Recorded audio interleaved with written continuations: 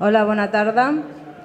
A veure, benvinguts i benvingudes al, al primer Consell de Barri que fem aquesta tardor. Mm, us presentaré els, els nous membres d'aquest Consell de Barri. Tenim la Sònia Frias com a gerent de, del districte de Sant Montjuïc. Després tenim el Mat Serra, el regidor. I finalment la Maribel Sánchez com consellera del partit de, del PSC? Gràcies. De res. I la resta pues, són els de, los de fa uns quants anys. Val, molt bé. A veure, el primer punt que farem avui, mm, que ho explicarà el Gerald i jo, és el procediment de la renovació dels vicepresidents de, de les comissions de seguiment del Consell de Barri. El segon punt és la renovació de la gestió cívica del Casal de Sant Cristóbal, que, que ho farà l'Alicia, i del casal de la vinya que tenim a l'Anna, que ho explicarà i seguidament doncs, tindrem el tom de paraules. I ara li passo la paraula al Gerard.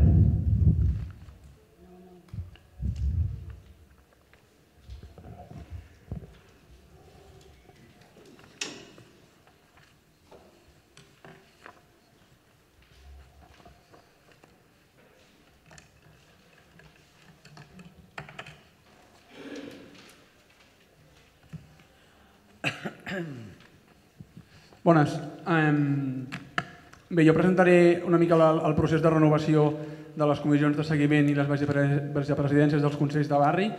En tot cas, però, um, un parell de, de recordatoris. Um, com sabeu, en el darrer Consell de Barri del mandat passat vam introduir el, el full d'intervencions per de cara al, al torn obert de paraules poder una mica endreçar el, el debat dels temes i perquè totes vosaltres, les persones que compleneu el full, doncs pugueu tenir una resposta el més aviat possible i per tant que us puguem respondre en cas que no us donin resposta des de la taula per escrit en, en el termini de, de 30 dies. Per tant, totes aquelles persones que vulgueu intervenir en el torn obert de paraules hauríeu d'emplenar el full i si voleu intervenir i no l'heu emplenat, primer intervindran aquelles persones que hagin omplert el full i després doncs, les que no ho hagueu fet. Aquelles persones que hagueu emplenat més d'un full perquè voleu fer intervencions de diferents temes, la idea és que us agruparem doncs, tots els vostres fulls perquè interveniu una única vegada i la idea és que cada persona que vulgui intervenir en el torn de paraules doncs ho pugui fer per espai d'uns 3-4 minuts per donar una mica l'oportunitat doncs, que totes pugueu parlar en el temps limitat que sabeu que és el Consell de Barri, que és de dues hores, per tant la idea és intentar acabar puntualment a les 8 i facilitar una mica doncs, la conciliació de tots i totes. L'altre tema que us volia comentar abans és que en aquest eh, Consell de Barri hem posat en marxa dos nous serveis que en principi mantindrem durant tot el mandat. Un és el servei d'accessibilitat per persones amb, amb problemes d'audició i l'altre és el servei d'acollida d'infants. Doncs, per tant, que totes les persones que vulgueu i facilitar una mica la, la participació, sapigueu que tres dies abans, fins a tres dies abans de cada Consell podeu demanar aquests, doncs, aquests dos serveis. Poder tenir doncs, un espai on deixar les, les criatures i que vosaltres pugueu participar al Consell i l'altre doncs, que si necessiteu mecanismes per millorar l'accessibilitat auditiva doncs, també pugueu eh, sol·licitar aquests, aquests serveis. I ara sí, eh, passo a explicar el, el punt que em pertoca de,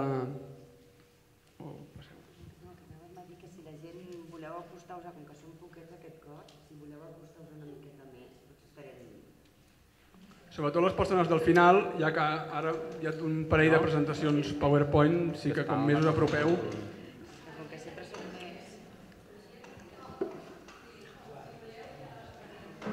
Passar les files a davant, dic perquè així ens veiem les cares millor i no dona sensació tant de buit.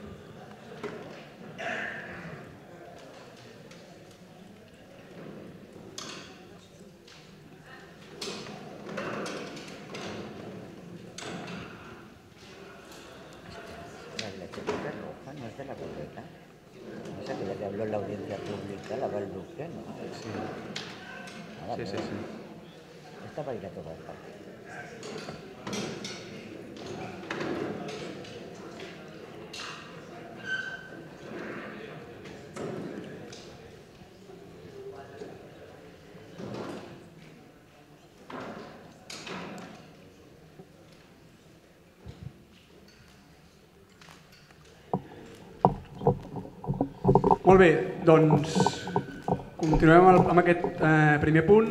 Com sabeu, el, el Consell de Barri doncs, és l'espai de participació i d'enfortiment comunitari del barri. En el cas de la Marina, tot i que tenim doncs, dos barris, com totes sabeu, fem un, un Consell conjunt pels, pels dos barris. És un espai obert i de participació on sempre intentem doncs, que hi hagi alguns temes que es plantegen tant des de l'Ajuntament com des del teixit associatiu i després eh, doncs donem pas a aquest torn de paraules on podeu intervenir per expressar doncs, les vostres inquietuds, eh, problemàtiques o, o iniciatives. En qualsevol cas, estem intentant treballar perquè sigui un espai també més de debat eh, col·lectiu que d'aportacions individuals. Per tant, és possible que en algun moment doncs, del mandat, com pot ser en el proper Consell de cara al Pla d'actuació municipal, doncs fem alguna dinàmica més de, de participació i de treball de temes col·lectius.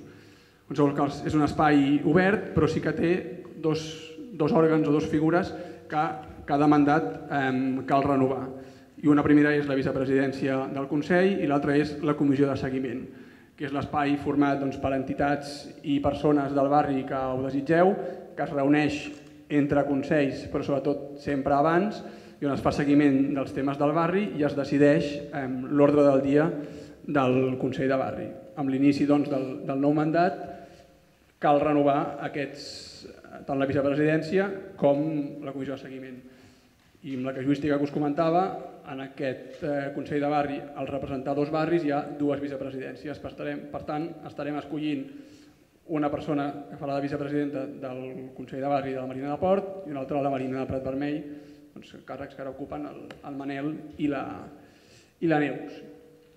En, en qualsevol cas, us recordo breument les funcions tant de la vicepresidència com de la comissió de seguiment perquè sapigueu aquelles persones que desitgeu presentar-vos o vulgueu doncs, animar algú que s'hi presenti, doncs, saber quines, quines funcions tenen, són les que tenim una mica en, en pantalla. El, la vicepresidència té capacitat, a part del, del regidor del districte, doncs, per convocar el Consell de Barri i la comissió de seguiment i són doncs, persones que vetllen pel seguiment de l'ordre del dia, per la documentació dels consells de barri, que fan seguiment de temes, que també doncs, vetllen per, per les actes i són persones que, a les quals us podeu adreçar per transmetre doncs, temes o inquietuds que vulgueu que siguin tractats en, en el Consell.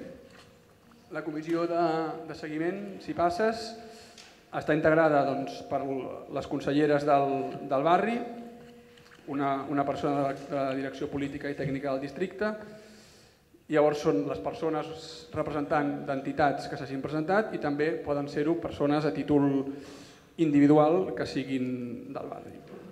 Es reuneix, com us deia, com a mínim 15 dies abans de cada Consell de Barri per eh, doncs, decidir i tancar l'ordre del dia, però també es pot decidir, reunir de forma extraordinària a proposta doncs, tant del regidor com de qualsevol dels vicepresidents o d'una tercera part de les persones que en formin part.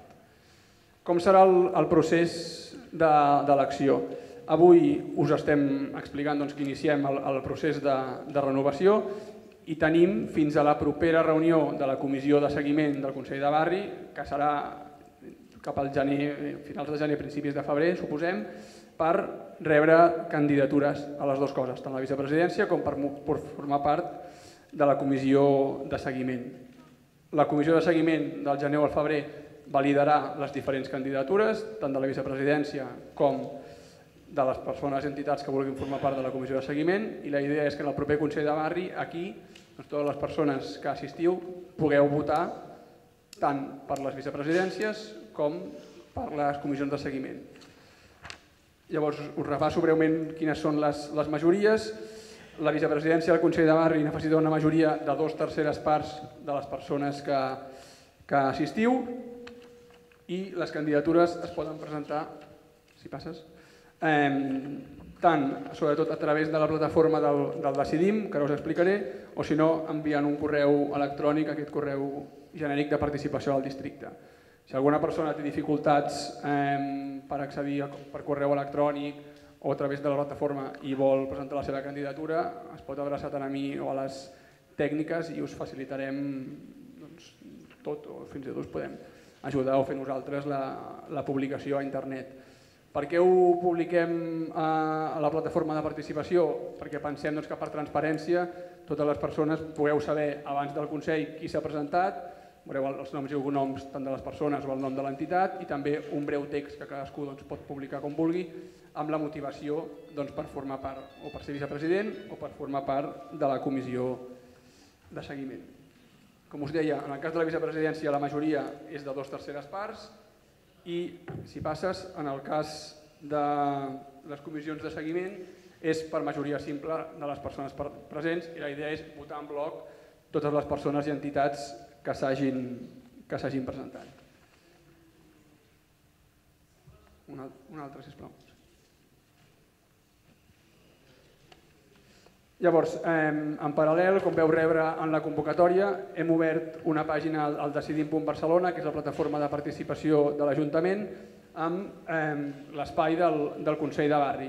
Aquí trobareu diferents pestanyes, una pestanya és l'òrgan que explica com, doncs, com funciona, una de funcionament que explica sobretot eh, les normes internes del Consell, una de la comissió de seguiment, on veureu ara les persones que formen part de l'actual comissió de seguiment i quan una vegada haguem acabat aquest procés de renovació doncs actualitzarem, una part informativa de les sessions on publiquem doncs, les noves convocatòries dels Consells de Barri, l'ordre del dia i les presentacions que hem fet, per tant aquesta presentació o les de les companyes que presentin els, la gestió cívica doncs, també les publicarem aquí i hem obert dos pestanyes excepcionals ara per aquests dos mesos de procés de renovació on podeu tant presentar la vostra candidatura tant a la vicepresidència com a la comissió de seguiment com consultar doncs, aquelles persones o entitats que s'hagin presentat. Per tant, una mica animar-vos, pensem que són funcions importants, tant la de la vicepresidència com les de la comissió de seguiment, i per tant doncs, us animem, tant si sou persones individuals com entitats, a poder-vos presentar. En qualsevol cas, tot això que us he explicat, us enviarem un correu informatiu sobretot a les entitats amb l'enllaç al, al Decidim i explicant una mica aquests eh, terminis i procés doncs, de, de l'acció i renovació perquè també ho tingueu i que no us faci por que no sigui una dificultat, sobretot el punt aquest eh, tècnic d'haver-ho d'enviar o per web o per correu electrònic, sempre podeu contactar amb qualsevol tècnic o tècnica del districte que, que us donem un cop de mà si cal en la, en la presentació. No sé si teniu algun dubte d'aquest punt, del procés.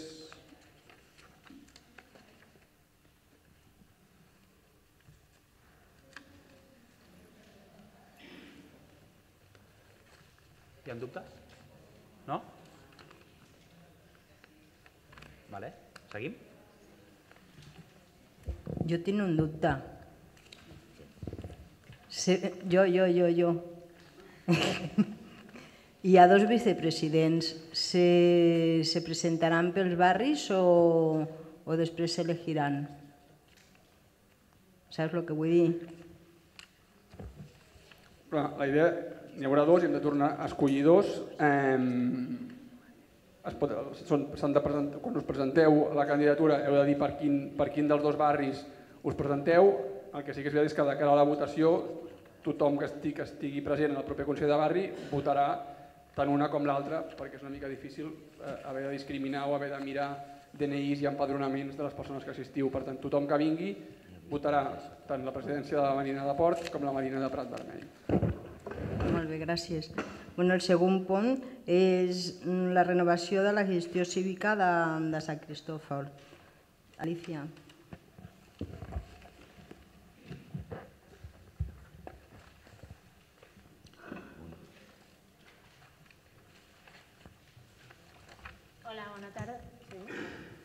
Bona tarda.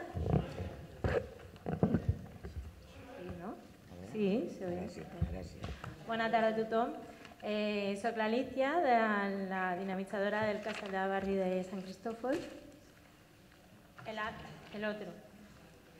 I bueno, us presentaré una mica el, el casal i el que, bueno, el que s'ha fet aquest any i el que està proposat fer de l'any que ve.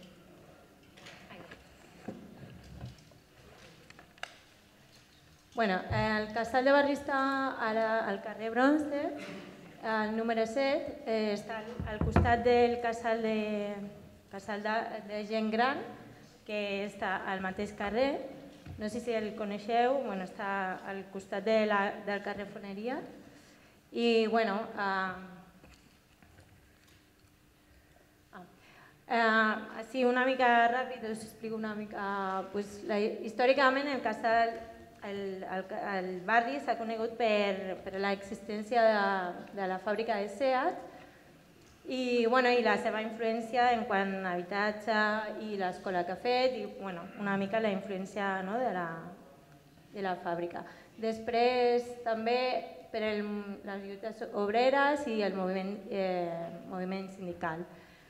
Després, cap als anys 90, el barri eh, Seat eh, va marxar i el barri va quedar una mica abandonat, les instal·lacions i tot el que s'ha fet, i amb el trasllat a Martorell pues, s'ha vist el declive de la, del barri. Però després, l'any 2000 aproximadament, s'ha fet una petita reconstrucció del barri amb remodelació i en aquesta remodelació eh, s'ha inclòs eh, la, la construcció del nou equipament del casal de barri de Sant Cristòfol, que és del que estem parlant ara, i el casal de gent gran, que està just al costat. I també bueno, podem destacar el poliesportiu de la Marina, que està tot junt a la, al barri, a, bueno, a aquesta part.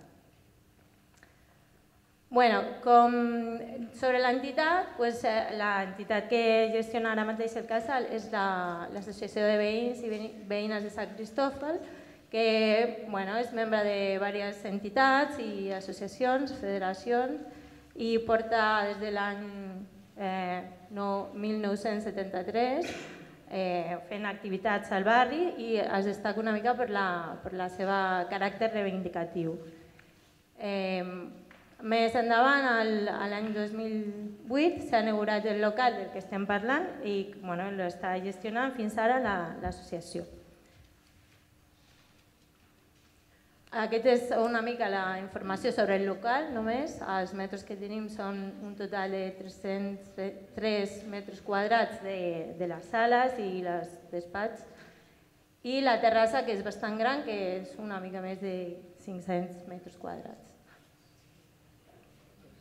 La, el tipus de gestió és la, la característica de la gestió cívica, que bueno, la gestió cívica que es caracteritza sobretot per la participació de la, de la gent, participació activa, és la principal característica d'aquest tipus de gestió, entre altres, entre altres característiques, però aquesta és la que podríem destacar.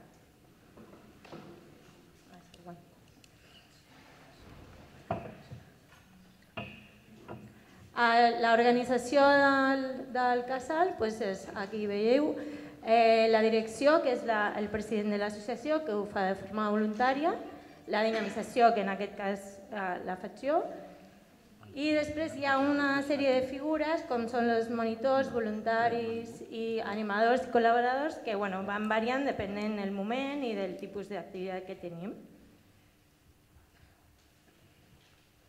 Bueno, aquí veieu les dues òrgans, diguéssim, que per una banda l'associació de veïns i per altra el casal. La missió del casal, sobretot, és la promoció de la participació activa i, e inclusiva de, dels, dels habitants, dels veïns i veïnes del barri. Entre, bueno, aquesta és, diguéssim, la, la principal, però també està pues, fer teixit associatiu i facilitar espais i infraestructures perquè la gent pugui participar. Vale. I d'acord amb, aquests, eh, amb aquest, aquesta missió doncs tenim els objectius que serien bueno, principalment quatre, que mantenir i fomentar la participació activa i afegir noves activitats mantenir i fomentar les que ja estan, que són en les que participa més la gent, eh, com bueno, són les festes populars, la sardinada, eh, la castanyada, Sant Jordi, Sant Joan, els que coneixem. Crear lligams amb la xarxa comunitària des d'una mirada col·laborativa, inclusiva, intergeneracional i de gènere, que diguéssim és una mica l'expectativa d'aquest any i fer ús, com he dit abans, de l'espai i promoure els, eh, també els espais que hi ha al voltant, que hi ha espais verds molt interessants per fer, per fer servir.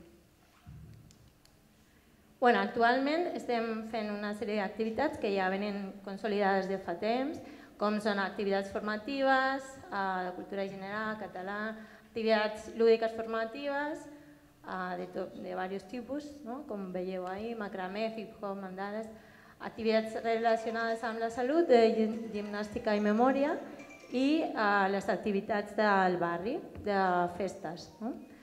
I durant el període aquest de 2018-2019 pues, hem fet altres activitats, eh, com és activitats familiars, com una jam, jam session de música en, en família, contacontes, eh, vam començar a fer Zumba, però després per altres problemes vam haver d'acabar, xerrades amb el Servei de Normalització Lingüística i tenim un projecte que està en procés d'un urbà, però hi ha unes qüestions tècniques que encara no hem pogut resoldre. I estem amb el projecte Radars actualment, que és d'acompanyament de gent gran i que l'estem desenvolupant. I de propostes de futur, bueno, és una mica pues, el que hem anat veient amb els objectius i la missió, però també bueno, volem detallar una mica, pues, incorporar noves activitats relacionades amb les noves tecnologies, ampliar les activitats per al públic familiar i infantil, activitats per fomentar eh, idiomes i la interculturalitat, eh, de salut i lúdiques, esdeveniments eh, puntuals que es puguin fer al, al casal mateix o als jardins que hi ha al voltant. I aquest projecte de jardí urbà que estem mirant si serà el jardí o serà l'hort, depenent del tema tècnic, i eh, que es vol fer a la terrassa del, del casal perquè és molt, molt gran per poder aprofitar-la. I bueno, com a proposta més sí, de col·laborativa d'accions comunitàries serà, eh, pues, és, ara mateix acull, és, mm, la idea és acollir al casal el projecte de gent gran que ja s'està fent, s'està preparant i també eh, un projecte de dones que es diu SOMI, que són dones que, que bueno, estan, eh, han passat per altres projectes i aquest projecte serà de tipus autogestionat, però des del casal eh, les donem, les cedim l'espai perquè, bueno, perquè puguin fer el seu projecte. Eh, una mica és aquesta una idea i per oferir també, diguéssim, l'espai. Eh, una altra proposta és col·laborar i fer intercanvi amb el Casal La Vinya, que com que són els dos casals del barri, doncs, treballar junts. I participar en diverses taules del barri, fer col·laboració activa amb la xarxa de barri, amb les entitats i bueno, amb tothom que vulgui participar amb nosaltres i nosaltres amb ells. I, bueno, però que no... Mira. I bueno, si teníeu alguna pregunta, després crec que ja torno de paraula.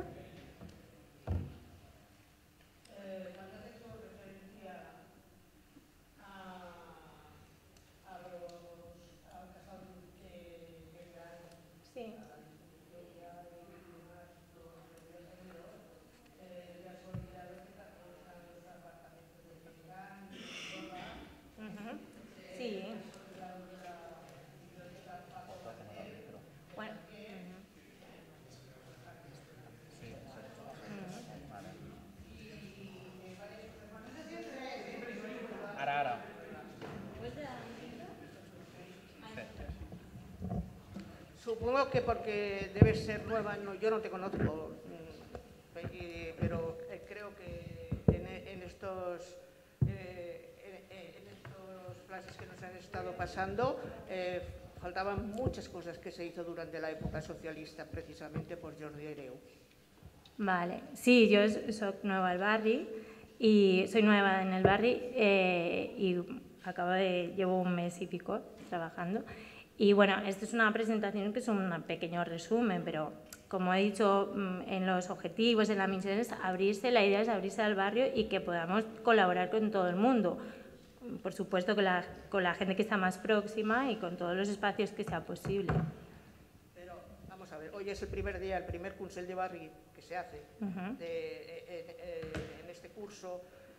Mm, de verdad que no tengo nada contra tuyo, al contrario pero pienso que debería de haberse explicado por alguien que conociera el barrio de verdad. Nada más era esto. ¿eh? Bueno. Sí, bueno, hubiera sido sí. mejor, pero bueno, yo, en este caso pues... Disculpi, senyora. Sí, hola. María Josep, ¿es diu? María Jesús. María Jesús, hemos pensado, ¿vale? desde el distrito, que estaría bien que lo explicara la actual dinamizadora.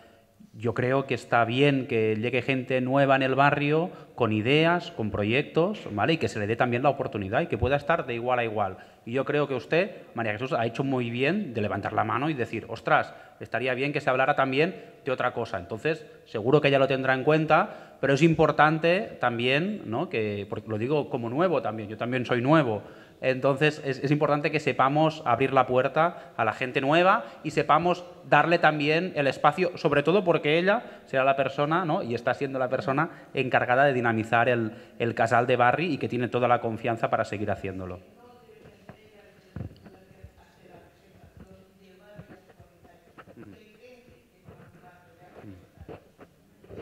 Sí. Sí,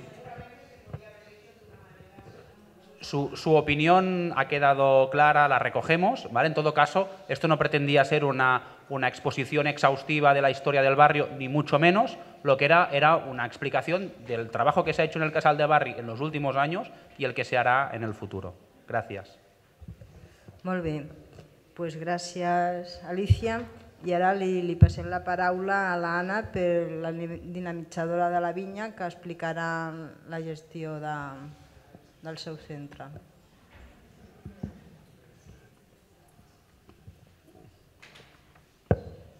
Hola, buenas tardes. Yo soy Ana, hablaré en castellano porque me siento más cómoda, si no hay problema. Y comienzo, bueno, aquí está el director del casal, Kiko, yo soy la dinamizadora. El casal de Barri se encuentra situado entre Alto Hornos y Ferrocarril Catalán, me imagino que lo conocéis pero lo recalco porque más tarde, cuando comienza a hablar sobre intervención en el barrio, diagnóstico y tal, para que nos centremos un poco en la Marina del Port, pero especialmente el barrio de la Viña, Plus Ultra y la proximidad. ¿Vale?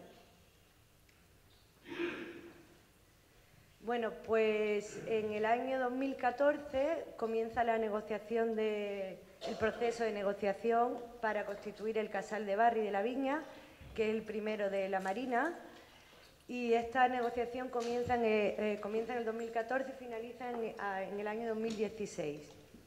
Ahí se concede el casal a través de la gestión cívica a la Asociación de Vecinos de la Viña y comienza el proyecto.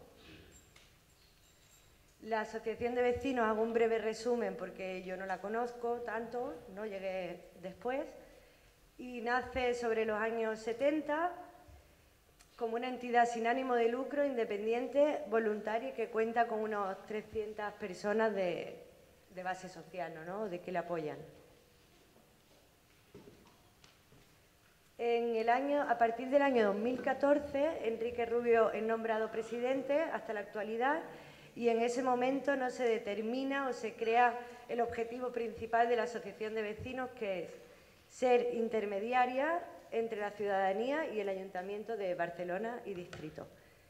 Desde el 2014 y hasta ahora la asociación participa en unión de entidades, comisión de seguimiento, consell de barri, consell de distrito, junto con otras entidades y asociaciones del barrio, principalmente en seguridad, movilidad y urbanismo y la asociación de vecinos. Creo que no me dejo ninguna, ¿no? Vale, ahora voy a resumir lo máximo posible para no dar mucho la chapa. El Casal de Barri del, 2016 al 2019, digamos que ha mantenido el objetivo, pero la perspectiva de trabajo sí que cambió un poco, ¿no? Entonces, en la actualidad, el objetivo general es dar respuesta a las necesidades y demandas de las vecinas y vecinos del barrio a través de participación e inclusión, eh, trabajando no solo con el vecindario, sino con entidades, colectivos y otras asociaciones del, barrio de la Marina, en general, no solo del PORT. ¿Esto cómo? Pues a través de la perspectiva comunitaria y la metodología activa participativa. En resumen, la misión ¿no? así general que nos planteamos es crear o llegar a una transformación social positiva y justa a través de la intervención del vecindario y del trabajo en red. Los objetivos específicos en la actualidad, en el 2019, que no son los mismos que antes, porque muchos de ellos ya se consiguieron y se, y se modificaron, son incrementar la perspectiva de trabajo comunitario, incluir no solo a personas voluntarias o usuarios en la colaboración del casal, sino también en el espacio de toma de decisiones, promover el uso lúdico eh, de los espacios comunes, sobre todo de los jardines de Cala Elena, que los tenemos justo enfrente del casal, y todo ello, digamos, con, la, con el, en consonancia con el objetivo general, ¿no? que es la mejora de la convivencia y de la cohesión del barrio. Además de ofrecer servicios dependiendo de las demandas específicas de las personas, pues ofrecer servicios diferentes, pues desde talleres, proyectos, eh, derivaciones a otros proyectos comunitarios que existan del barrio, otros servicios como servicios sociales, el atendimiento personal y la ocupación del espacio público, como he dicho antes. Este último año, después de, digamos, mm, delimitar esta perspectiva, fijamos unos valores, ¿no? junto con otras personas que trabajan o colaboran en el casal, y os lo resumí aquí con dibujitos, que son la ayuda mutua, el trabajo a través de la perspectiva de género, la pluriculturalidad, la cohesión social, la equidad, la cooperación, convivencia, solidaridad y respeto, que como veis es como un desglose ¿no? del objetivo. Luego, en este, esta diapositiva es un resumen de todas las actividades, proyectos y colaboraciones que se hacen desde el casal y con el casal. Y si os fijáis arriba, veréis diagnóstico, contacto directo y necesidades. Eso es porque antes de crear una actividad, un proyecto una colaboración desde el casal existe un trabajo previo que es el análisis del diagnóstico del territorio que se emite cada año desde el Ayuntamiento de Barcelona, Distrito y Barcelona Activa, emite otro, contrastado con el contacto directo y la información que nosotros obtenemos de ahí y de ahí se delimitan ciertas necesidades o demandas del barrio, que como veis dan lugar a muchas actividades y proyectos. Las actividades pues, son las que veis en la primera columna, costura, eh, talleres de inglés, dibujo, pintura, móvil, bueno, muchísimos, depende de la edad ¿no? y de, las demandas. Y los proyectos, que me gustaría aclarar que aunque ahí veáis mucho, son proyectos que se desarrollan durante todo el año en el casal, pero no de manera simultánea. Por ejemplo, eh, la fiesta de verano es algo puntual, el circo social se hace solo una vez al año y proyectos como habilidades familiares, alfabetización y tal sí que son, se desarrollan durante todo el año. Y por último podéis ver las colaboraciones que son todos colectivos, taulas y entidades del barrio, como son Taula de Donas, TIAF, que es la Taula de Infancia y Adolescencia. Si queréis preguntar sobre alguna. FEMAREC es una, cooperativa de formación, Taula de Sport, Taula de Salud, Casal San Cristóbal, como ha dicho Alicia, la Escuela Dominical, la FALLIT, que es la Federación de Asociación Gitana de Cataluña, Interacción es una asociación que viene del Raval, trabaja sobre todo con la comunidad gitana y también realiza trabajos en Besos, cosa que, que nos es bastante útil aquí, no es provechosa porque hay muchas familias que compartimos y bueno, y otras.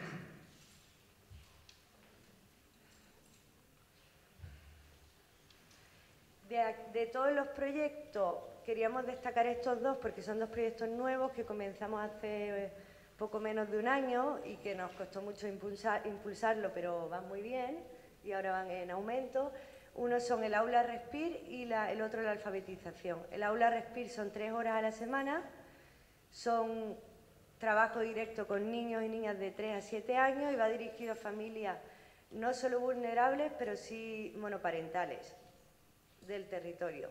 Le llamamos respir porque en cierto modo es un respiro para los peques, porque tienen un espacio donde estar tranquilos, donde se crea un, espacio familiar cómodo y donde se intenta dar una educación no directiva y respiro también para, los tutores que al ser evidentemente monoparentales pues no tienen mucho tiempo. Y Este aula respira además se complementa con otro proyecto que son sesiones familiares con las mismas familias. El otro es un proyecto que también costó mucho sacarlo, pero que al final está dando su fruto, y es alfabetización de personas adultas. Eh, va dirigido a personas que no tienen ningún nivel, digamos, en la lectoescritura, que son analfabetas, y se trata de intentarles enseñarnos la lectura y la escritura a través de una metodología activa, eh, cómoda, familiar y que promueva no solo la, educación en las letras, sino también la autonomía como persona, la autoestima, la salud mental, etc. Y bueno, como he dicho antes, el, CASAL es una gestión cívica, ¿no? Pero el organigrama, ¿no? la gestión interna, se divide en dos grandes grupos, que sería la dirección, que el responsable es Enrique Rubio, presidente de la Asociación de Vecinos, ¿está aquí?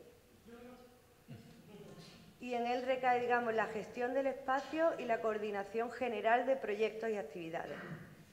La otra gran grupo sería yo, la dinamizadora y cohesión social, que me encargo del estudio del territorio, diagnosis tal, y junto con él hacemos la organización y la gestión de los proyectos.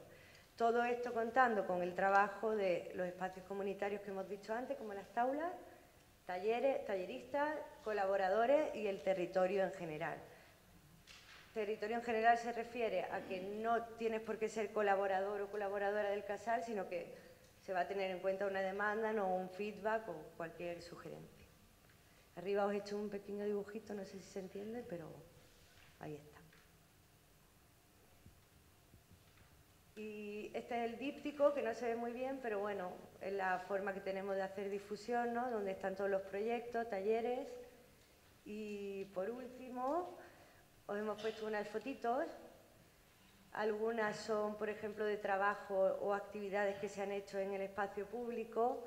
Aquí en la, esquina izquierda veis ahí haciendo la paella con la escuela dominical y con otros vecinos. Otro es la jornada de feminismo de diferentes culturas que hicimos a través de mujeres de la comunidad gitana, de Guinea, de América Latina y que fue muy interesante. Las jornadas del circo y nada más. Gracias y si tenéis preguntas, a mí o a Kiko, que está aquí el presidente. ¿Ya preguntas? La actividad esa de los niños pequeños, ¿se pueden apuntar los de otros barrios? Sí, se pueden apuntar, pero tendrían que pasar una, una entrevista, porque como hemos dicho, ¿no? está dirigida a familias con cierta vulnerabilidad y está llena y hay lista de espera ahora. Pero se pueden apuntar. ¿Alguna pregunta más? ¿Cómo? No te oigo. Que le renueva el contrato. Ah. Que ho fa molt bé. Sí, sí, sí, digues, Maria. Si no hi ha cap pregunta, que no em vull colar, si no hi ha cap, comentar-vos que hem presentat aquests dos projectes, aquests dos serveis municipals que estan gestionats de forma cívica per les dues associacions de veïns, aquí està el Quico i l'altre associació i ho presentem perquè ara hem de fer la renovació del conveni de la gestió cívica i un dels informes preceptius és informar al casal, al Consell de Barri de que farem aquesta renovació cívica i, i, bueno, i preguntar-vos si hi ha alguna consideració que vulgueu exposar i si no entenem que continuem tal, qui, tal i com hem fet en el cas de la vinya anys anteriors i en Sant Cristòfol ho convertim aquest any també en gestió cívica. Algun comentari sobre això? Endavant. Doncs. Molt bé, doncs ara comencen el torn de paraules i li sí? passo la paraula al Marc. Ara farem el, el torn de paraules, farem les intervencions. Sí, jo, si, si em permets, eh? Uh, bona tarda a tots i totes. Jo us volia donar la bona tarda. Soc el nou regidor del districte. Molts de vosaltres ja ens coneixem, ens hem pogut conèixer les darreres setmanes, els darrers mesos. Uh, he intentat, en la mesura del possible, estar tan disponible no? com, com hem pogut. També hi ha hagut no, les conselleres en aquest cas, tant l'Ester com com la Maribel, eh, que, que, bueno, que es coneixen molt bé al barri. Eh, jo és un barri que la veritat és que aquí m'he sentit identificat no, amb la companya, és un barri que no conec al detall, però que posaré tota la, la bona disposició, diguem, per, per conèixer el, el màxim vale? en, el, en el mínim temps possible i tota la, tot el carinyo també per, per poder-ho fer de la forma més ràpida possible. Eh, tenim 15 intervencions, més o menys, eh, 13-14, eh, tenim una hora i 10 minuts perquè ens agradaria acabar puntuals. El que us proposo, a mi m'agradaria fer una mica d'informe, però com que crec que com que sóc una mica el nou d'aquí i el que he vingut sobretot és escoltar, el que us proposo és l'informe de regidor en el que explicaré una mica les prioritats pel barri, el podríem deixar, si us sembla bé, per al proper Consell de Barri i avui eh, deixem que d'alguna forma els veïns pugueu expressar no, tots els vostres dubtes i evidentment els contestarem des d'aquí sense cap mena de problema. Ho dic perquè si ara començo a explicar una mica les prioritats que tenim pel barri i la feina feta, jo crec que fàcilment em menjaria mig, mitja hora i seria, podria passar que hi hagués gent que marxés sense, sense poder fer la seva intervenció. Us sembla bé? Sí? No? Bueno. Sí. Sí, hem, hem d'assumir que si fem això tindrem... Sí.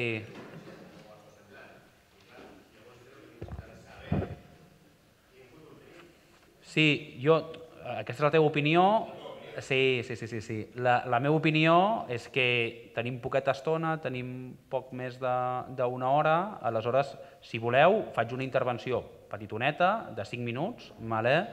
I intento no allargar-me molt perquè, vaja, mm, jo aquí he vingut sobretot a escoltar els, els veïns i veïnes. Bueno, en qualsevol cas, a, a petició també de, del públic, eh, prioritats que tenim per a aquest mandat. Jo crec que el mandat passat es va fer molt bona feina.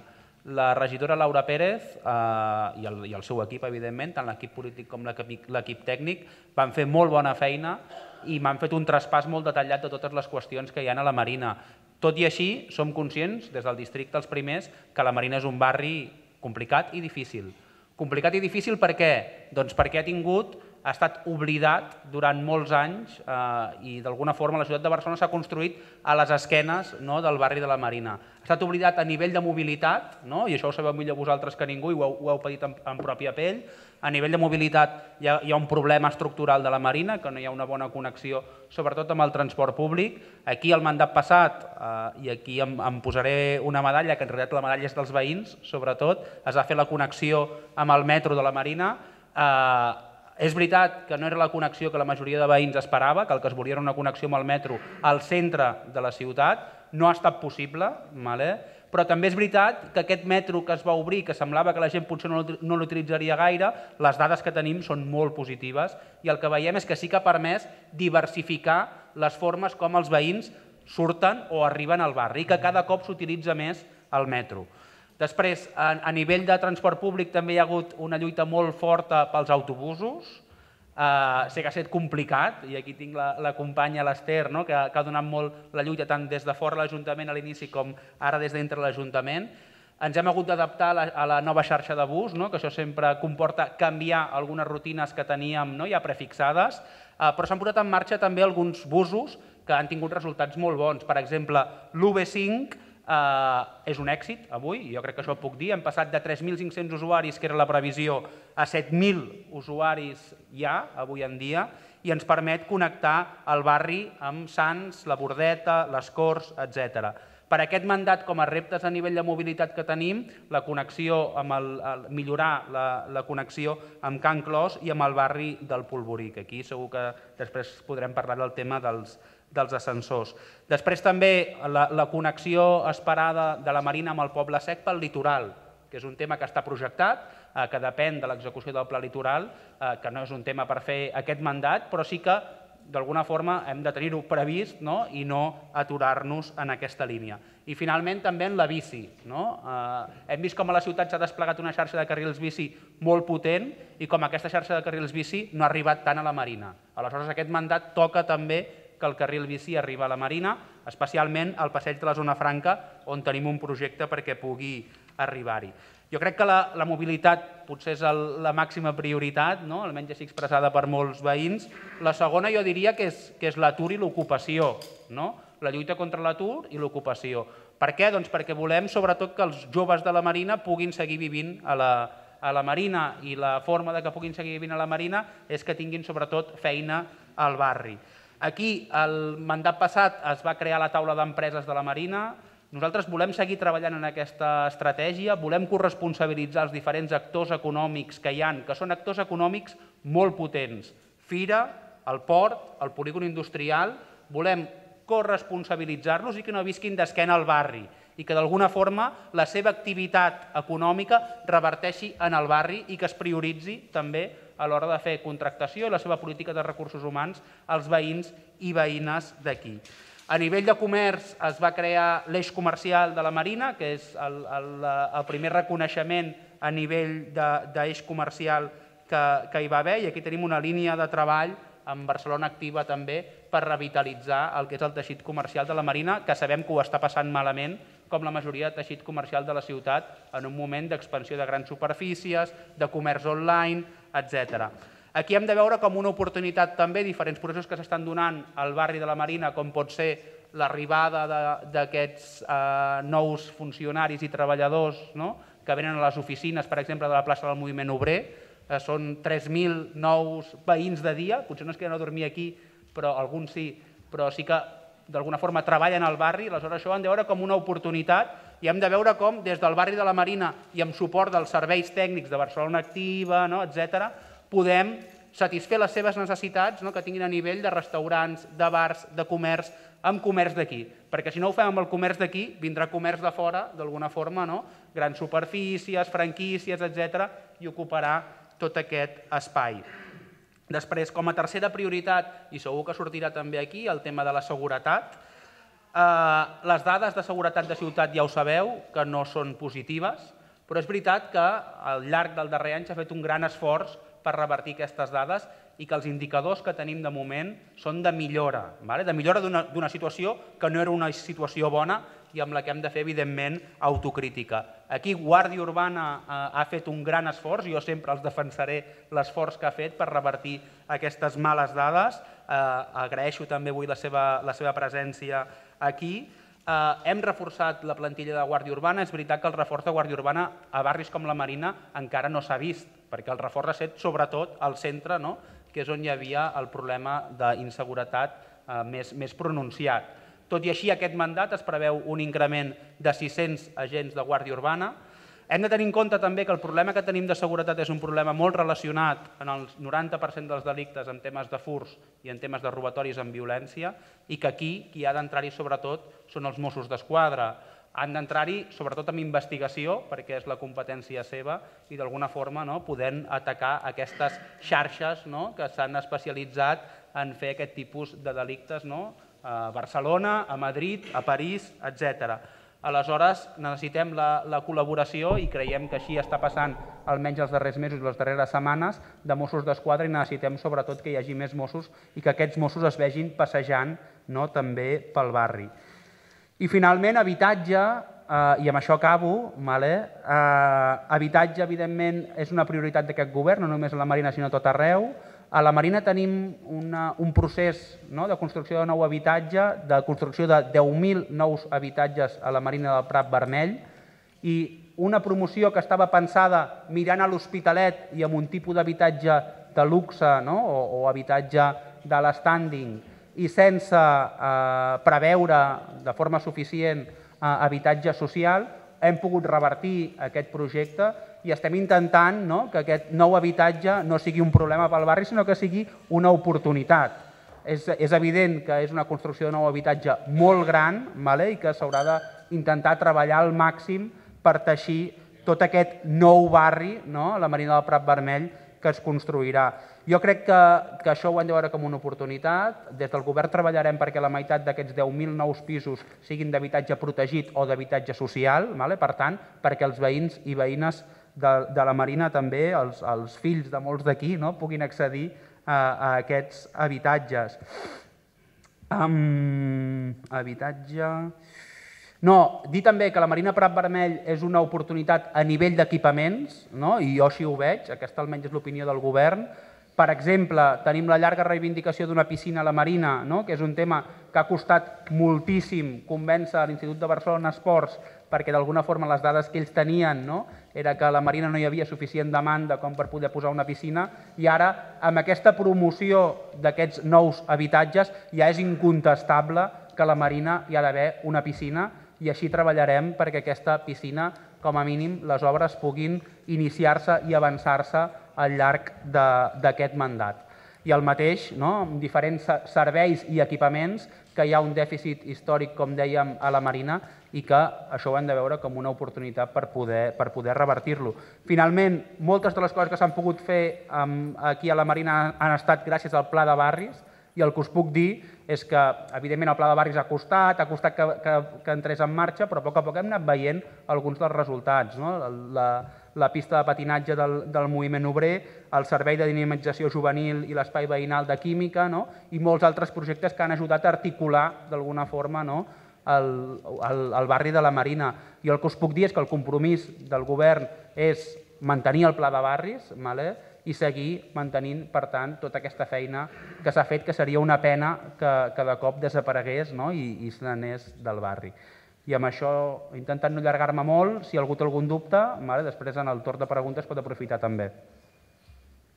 Bé, doncs ara seguim amb el, amb l'ordre del dia, farem el, el torn de paraules, però mitjançant a eh, la intervenció dels grups, com ha explicat el Gerard. Llavors, el que hem fet és, eh, ens hem trobat que hi ha una persona que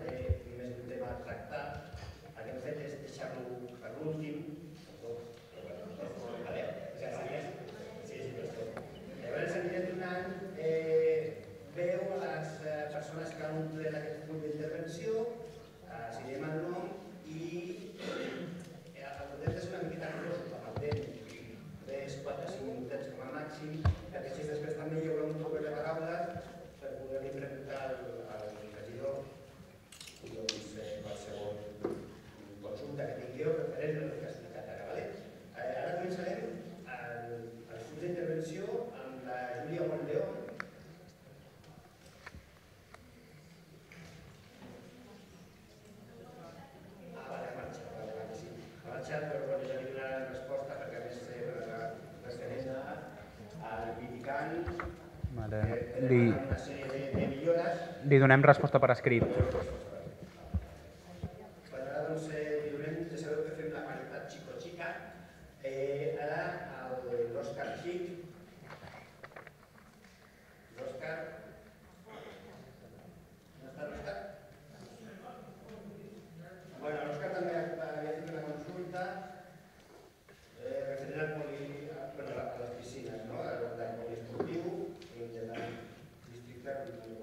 Donem també resposta per escrit. És que hi ha futbol hoy o què? Sí. Vale.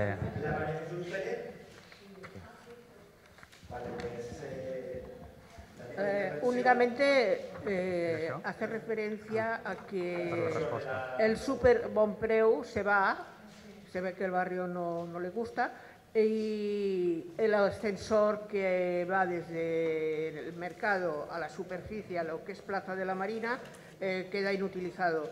¿Qué piensa hacer el ayuntamiento para que esto continúe? Ese ascensor es imprescindible donde está, en la zona que está, para la gente discapacitada y demás. Eh, me gustaría saber qué tenéis pensado para, para esto. Gràcies. Ara sí, sí, sí, sí, entès. Responem directament o agrupem? Agrupem, millor. Ok. Sí? Agrupem. Vale, doncs eh, ara el Tomàs Martínez s'ha incorporat ara més tard també una, okay, perfecte. fet un estudi d'intervenció amb tres temes. Tomàs, intenta un poquito, ¿vale? Sí. Hola, buenas tardes a todos y a todas. Eh, más o menos iban ligados a, a, la continuidad de las inversiones y los proyectos que se habían hecho en el anterior mandato sobre el plan de barrios. Y eh, uno era la fecha previsible de, o prevista de, de la inauguración de, para el uso de los vecinos y personas que, eh, quieran acceder a, la montaña con una disminución o problemas de movilidad, como son los ascensores de, que se han construido, y saber cuándo se ponían en funcionamiento para, para lo que es el barrio en sí. Y otro, bueno, el de la piscina ya lo habéis comentado, pero otro muy importante eh, era el tema del centro de atención integral, que está previsto que se iniciara en el mandato anterior, hubo una serie de problemas sobre su ubicación, se hizo un consenso sobre su nueva ubicación y creo que es un centro que, dada la necesidad de cohesión y servicios eh, que tenemos en este, en este barrio, eh, a nivel de tener un centro nuevo, eh, más adaptado y con nuevas tecnologías, por así decirlo, y cuestiones a nivel social, con más eh, dedicación por parte del personal para atender las necesidades del barrio en temas de habitacha, en temas de sociales, de salud, eh, sería muy importante que ese tema fuese, al menos para mí, prioritario en este mandato. Nada más.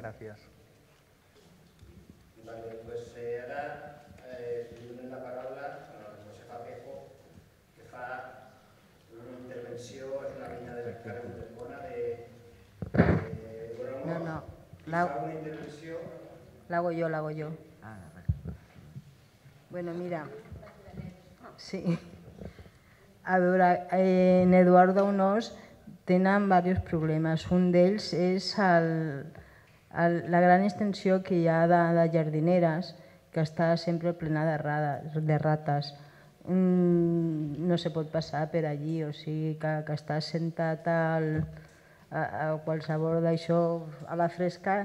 I a, jo l'altre dia, aquest estiu, vaig estar parlant amb elles dues i, i bueno, veiem les rates per ahí corrents.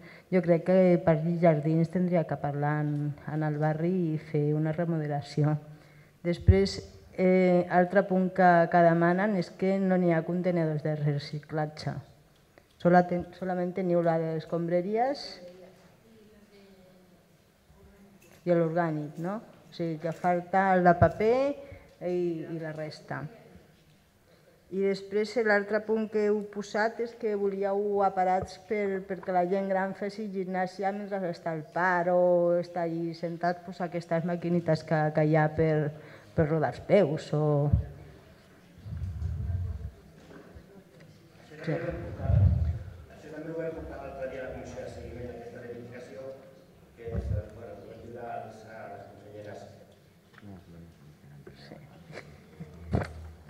pues ja està, ja està la intervenció. Gràcies.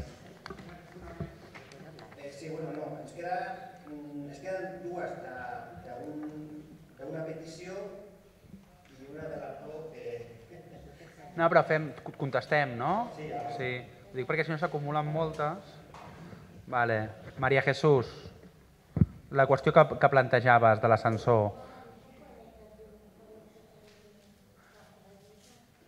Bueno, lo que hacemos es acumular tres, ¿vale? Ahora yo respondo, luego se harán el resto de preguntas que quedan, que creo que también son tres, aunque Abdo tiene varias puntas y luego contestaremos desde la mesa, ¿vale? Es la dinámica que, que utilizamos normalmente. Maria Jesús, eh, l'ascensor aquest no és que s'hagi... És, és veritat que el bon preu ha, ha, ha marxat, però, però l'ascensor no deixa de funcionar, sinó és que està espatllat. Vale? És, és un ascensor Sí, és, és un ascensor que depèn de mercats vale? i està pendent de reparar-se. Nosaltres parlarem, evidentment, amb l'Institut Municipal de Mercats vale? i saber una mica quin és el, el plan que tenen, vale? perquè no és un ascensor que depengui del districte, sinó que depèn, depèn de mercats. Vale? Aleshores, aquest ascensor hauria de... Sí. Sí?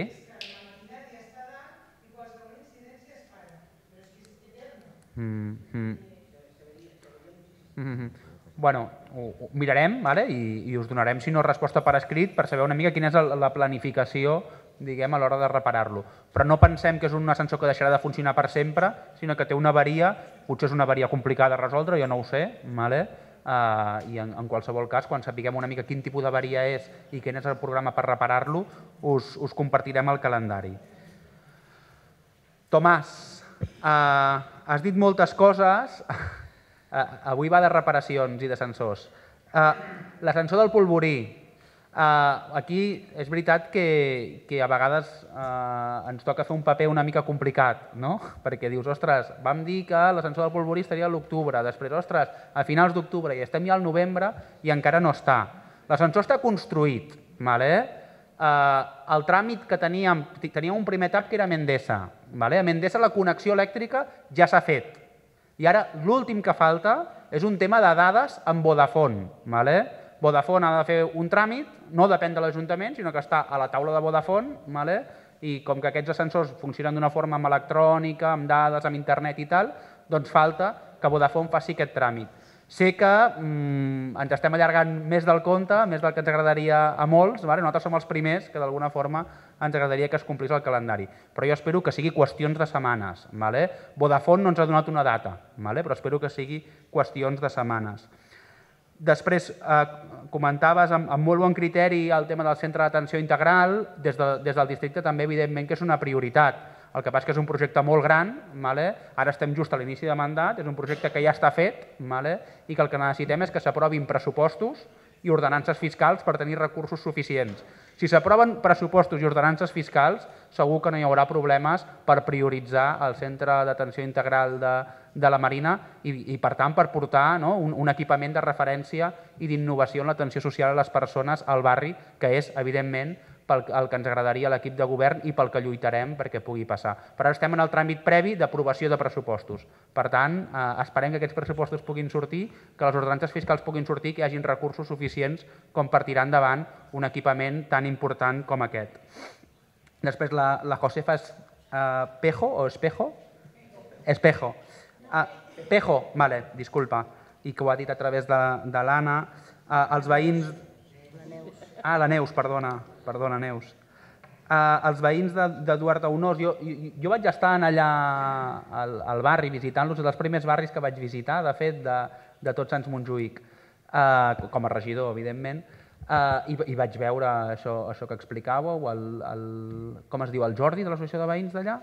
El Jordi, el Jordi m'ho va estar explicant, vale? em, va, em va explicar el problema que hi havia. Aleshores, eh, eh, sabeu que hi ha una zona que està pendent de, de fer una urbanització dels jardins, vale? i que hi ha un projecte en allà, no és, no és pròpiament dintre el barri, sinó és la zona de fora. Aleshores, quan es faci tota aquesta urbanització, eh, que, que serà aquest mandat, vale? Tot això, d'alguna forma, ha de, ha de millorar. El que sí que demanarem és que, mentrestant, es garanteixi un mínim de, de dignitat pel barri. Vale? Aleshores, s'ha d'avaluar si s'ha de fer una de ratificació, doncs mirem, mirem que es faci. I si s'ha de, millorar les tasques de manteniment de la zona, mirarem també de fer-ho, evidentment. I finalment el tema dels contenidors de reciclatge que dieu, preguntaré per què no hi ha contenidors de reciclatge, però jo crec que la, el barri d'Eduard d'Aunós es mereix uns contenidors de reciclatge com tots els barris de la ciutat pues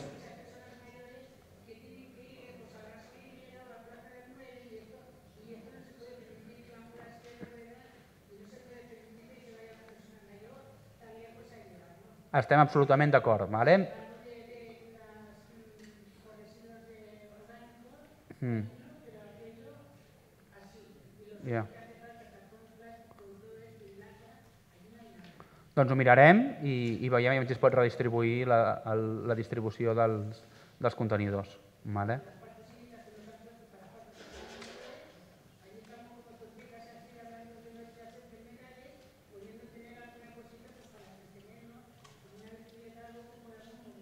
Vale, sí, sí.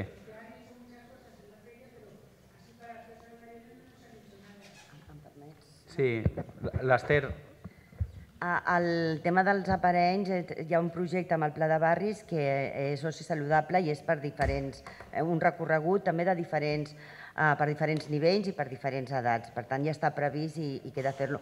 I amb el tema de les rates, de les plagues, el que sabeu que cada cop que doneu l'avís ve de ratització i fem que hi ha un problema també d'obres, de tot el que remou totes les terres amb les obres que es fa i, i problema també dels parterres, però que cada cop que ens passeu l'avís en, ens ho prenem molt, molt en sèrio.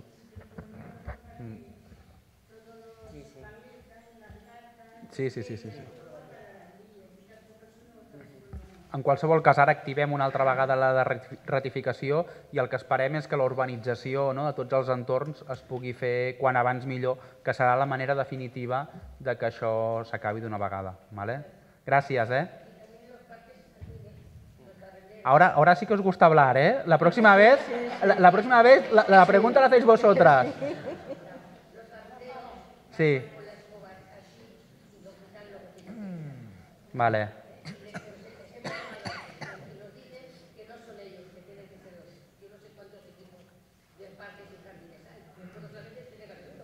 Bueno, a vegades sí que passa que els parcs els netegen equips diferents que els que netegen carrers. Això ho mirem, vale? però jo ja et dic que jo ho he vist mm, amb els meus propis ulls, que és una zona que, que està malament a nivell de manteniment. Vale? Gràcies. Doncs continuem, ens queden ara tres paraules d'aquest eh, bloc d'intervencions de Full. Ara li donaré la paraula al Silvino. Silvino. Uy, se ha ido. Se ha ido. Nada, Sí, no, està ahí parlant. Ara Víctor Puig. Eh, hola, buenas tardes. Eh, bienvenidos al Consell. Ya veo que hay gente nueva para los nuevos y para los que ya estaban, ¿no? Bueno, yo en un principio eh, había dicho futbolísticamente que íbamos a subir a la segunda división de tercera que estábamos. Sí es verdad que subimos a la segunda vez, pero a la segunda no llegamos. No llegamos porque, bueno, yo particularmente y mucha gente pensábamos que el carril bici se iba a hacer en este mandato, se hará ahora seguro, la piscina y etcétera. Cuando se haga eso, pues bueno, llegaremos a la segunda A. Pero yo ahora tengo unas quejas que ya las hemos hecho el año pasado sobre parque y jardines.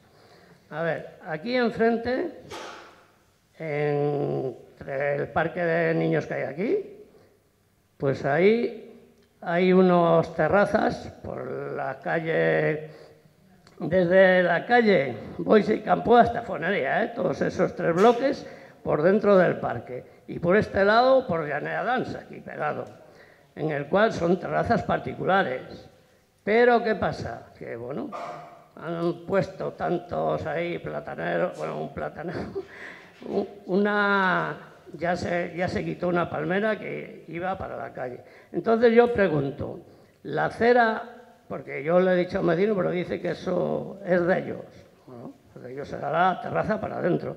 Si la acera que está ahí es pública, porque es vía pública, yo pienso, yo pienso que las personas que van en silla de ruedas o invidentes, o nosotros, es igual. Ahora no podemos pasar por ahí porque pegamos con la cabeza porque bajan hasta abajo.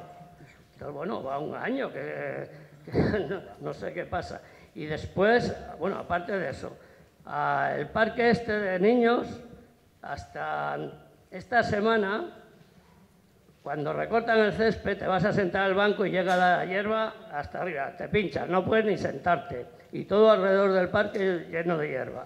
Estaban cortando el césped, los, de, los que tienen que cortarlo, yo le he dicho, oye, por lo menos debajo del banco, me han contestado que ellos es otra brigada, ellos no. Bueno, no lo sé, sea quien sea, pero lo que sí está claro es que está, bueno, y lo han quitado ayer, lo de debajo de los bancos, pero aún por el lado de, de las farolas aún está de hierba. Y todo el lado de las farolas pues crece ahí. Eso mm, quiere decir que, bueno, es una queja a Parque Jardín que no tenga que hacer, pero no podemos seguir así. Y después, vamos a ver, si aquí voy ese campo saliendo, cruzando de aquí, de Llanera Dance, a la escuela de danza. Ahí se pusieron a arreglar lo de los árboles porque es lógico que sale para afuera con las raíces y tal, ¿no? Todos los árboles.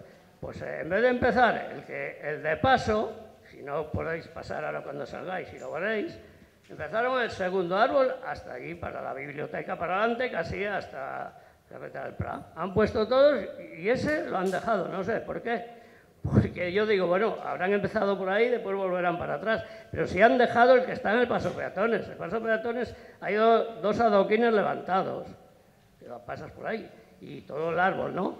Pero lo que no es normal, digo, que hacen todos para allá y el que está en el paso peatones no lo han hecho, pero es que ya llevan 15 días o más, que no han vuelto a hacerlo. se les habrá olvidado. Son bueno, pues son otra brigada. Yo no digo que sea quien sea. Lo único que lo que no lo que se ve así que se va a hacer unos daño al pasar cualquiera persona. Bueno, son quejas de son quejas que ya mm, no funciona bien lo que es parque y jardines en estos sentidos en el barrio, que ya hubo quejas el año pasado. Yo que- yo Eh, si puedes ir abreviando, por favor, más que nada. Vale, pero- vale, no, nada más era eso, pero una queja. Pero bueno, yo espero que subamos a la segunda división a este mandato. Bien, gràcies. Eh, ara tenim a la, a la Luisa Sánchez.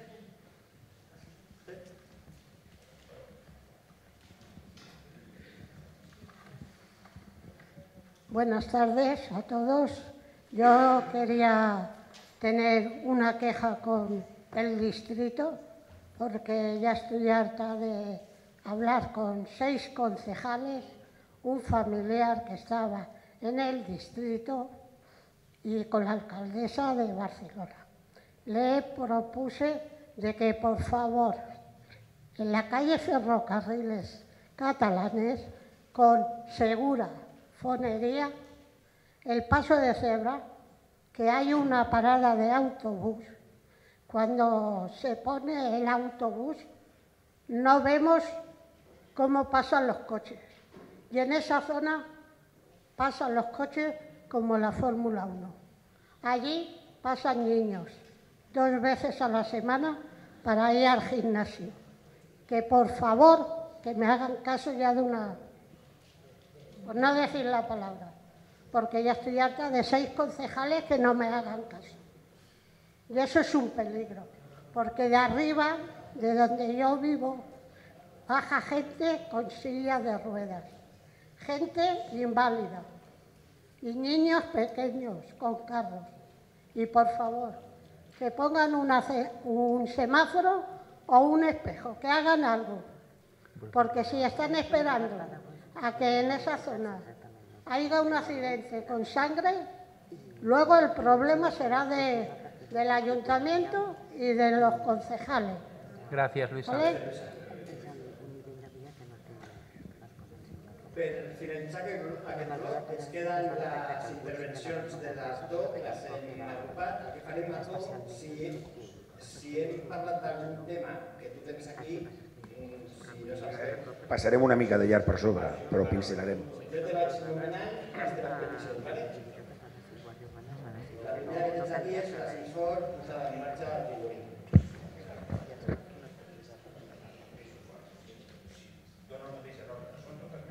Sí, que ja, però que si hi ha algun tema que ja, ja hem tractat, sisplau, sí, vale? Vale, perfecte. Bueno, eh, en principi, bona tarda a tots i a totes. Marc, eh, com regidor, Sònia, com eh, gerent del districte, benvinguts al districte. Esperem que aquest mandat sigui profitós per tots, no només per vosaltres, que és una feina que teniu, però per als veïns de la Marina eh, volem que sigui profitós. La resta de districte també, però principalment nosaltres ens mirem al nostre malic, ¿vale? eh? i els consellers també, els nouvinguts. Bueno, primerament, Maria Jesús, et volia aclarir una cosa, per si no la saps.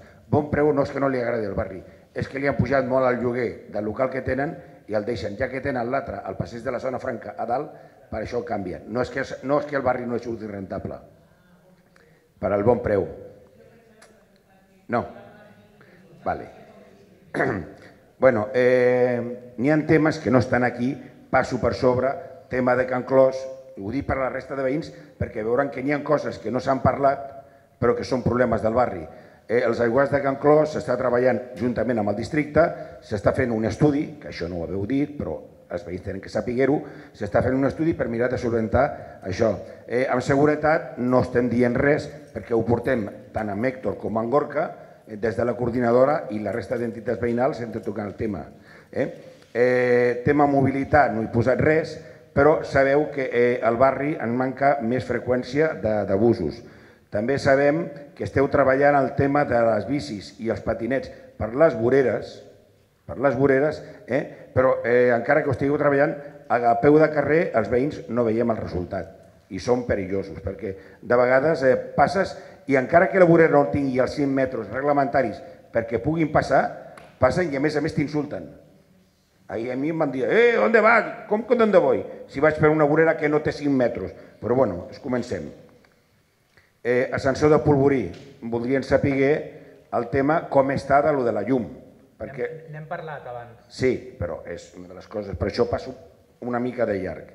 Eh, L'arbrat, eh, amb el mandat anterior s'havia comentat que s'hauria de fer una mica de poda, voldrien que aquesta poda fos més exhaustiva perquè n'hi ha fanales i punts de llum que estan a les, a les, a les façanes que eh, l'arbrat tapa les fanales i tenim uns arbres molt ben il·luminats, eh, però no les voreres, amb el perill que suposa per als vianants i eh, la seguretat per als comerços de la zona. Eh, crec que a la mateixa vegada que es fa la poda d'aquests arbres, ens estalviaríem també en fumigació perquè tenim Ara ja arriba un moment que arriba l'hivern i aquests bitxos hivernen, però sabeu que tenim les xinxes i un, un munt d'insectes que ens entren a les cases. El pipicant, ja ho han dit, eh, una de les solucions a banda de manteniment seria també aixecar eh, una mica la, la tanca perquè n'hi ha, allà van gossos molt grans i de vegades jugant o saltant la gent que passa per al costat doncs s'emporta més d'un ensurt. Eh, la neteja de la marina, això ho hem tocat moltes vegades, però també tenim que, eh, a banda, doncs, fa una temporada, des que vas començar l'estiu, doncs, a la placeta, diem placeta perquè és petita, que n'hi ha eh, cantonada als forts amb aviador Ruiz de Alda, eh, a l'entrada del Plus Ultra, allà se'ns posen a jugar, a menjar pipes i tot, ja munten un banc provisional, fan partides de domino i de parxís fins a la matinada. Eh? Eh, ara els veïns ja tanquen finestres per la temperatura, però el terra queda fet un fàstic? No, lo següent. A l'altra punta del barri tenim també la placeta, que per al tema de coloms i incivisme, de botellons que fan, està igual. Eh? Eh, clavegram, tema de rates, eh, escarabats i tot això, creiem que s'hauria de fer una neteja ben profunda eh, al clavegram que tenim a la zona i més després dels aiguats perquè a banda de la brutícia que ja n'hi havia acumulada, de tota la terra que ens ha baixat de la muntanya de Montjuïc, n'hi ha alguns desguassos que estan molt, molt taponats. Eh, estrelles altes, s'hauria de parlar amb l'empresa que fa la neteja d'allà eh, perquè eh, buidés les papereres més, eh, més sovint. Eh, vivendes i local ocupats. Ho hem parlat moltes vegades. S'hauria de fer, a banda que ja ho parlem amb Urbana i Mossos, per part del districte més pressió sobre aquests cossos, bueno, els seus comandaments, perquè eh, tenim locals que són plantacions, tenim locals i vivenda, bueno, locals i vivendes, plantacions de marihuana. I n'hi ha molts veïns que no s'atreveixen a denunciar-ho per la por, per la por que n'hi ha. Eh, al carrer Pedra del Mussol, arbrat, n'hi ha arbres que estan molt inclinats amb el perill que suposa per les, per les vivendes. I una altra cosa, no és que jo faci una llista molt llarga, jo no faig la carta als Reis. Com a president de la coordinadora represento a vuit barris i l'associació de comerciants i en comptes que hi hagi vuit o nou persones parlant, ho fa tot una. Per això, per l'últim, ja he acabat la carta. Podria ser més extens, però hem donat una pinzellada. Ara el regidor donarà resposta a, aquestes, a aquest bloc d'intervencions i seguidament eh, farem un torn de paraula. Vale? Gràcies. Gràcies, Abdó. Crec que totes les coses que has tret són coses importants pel barri. És veritat que algunes ja les havíem parlat abans, com el tema dels ascensors del, del Polvorí, que hem donat les explicacions eh, oportunes i, i hem explicat, ho aclareixo per si algú no ho ha entès. Ara mateix el TAP amb els, amb els ascensors del Polvorí no està en el tema elèctric, no està a Endesa, sinó que està a Vodafone, que és l'últim dels passos està en què la companyia de Vodafone dongui d'alta l'ús de les dades. Vale? Per tant, estem ja a puntet a puntet. Vale?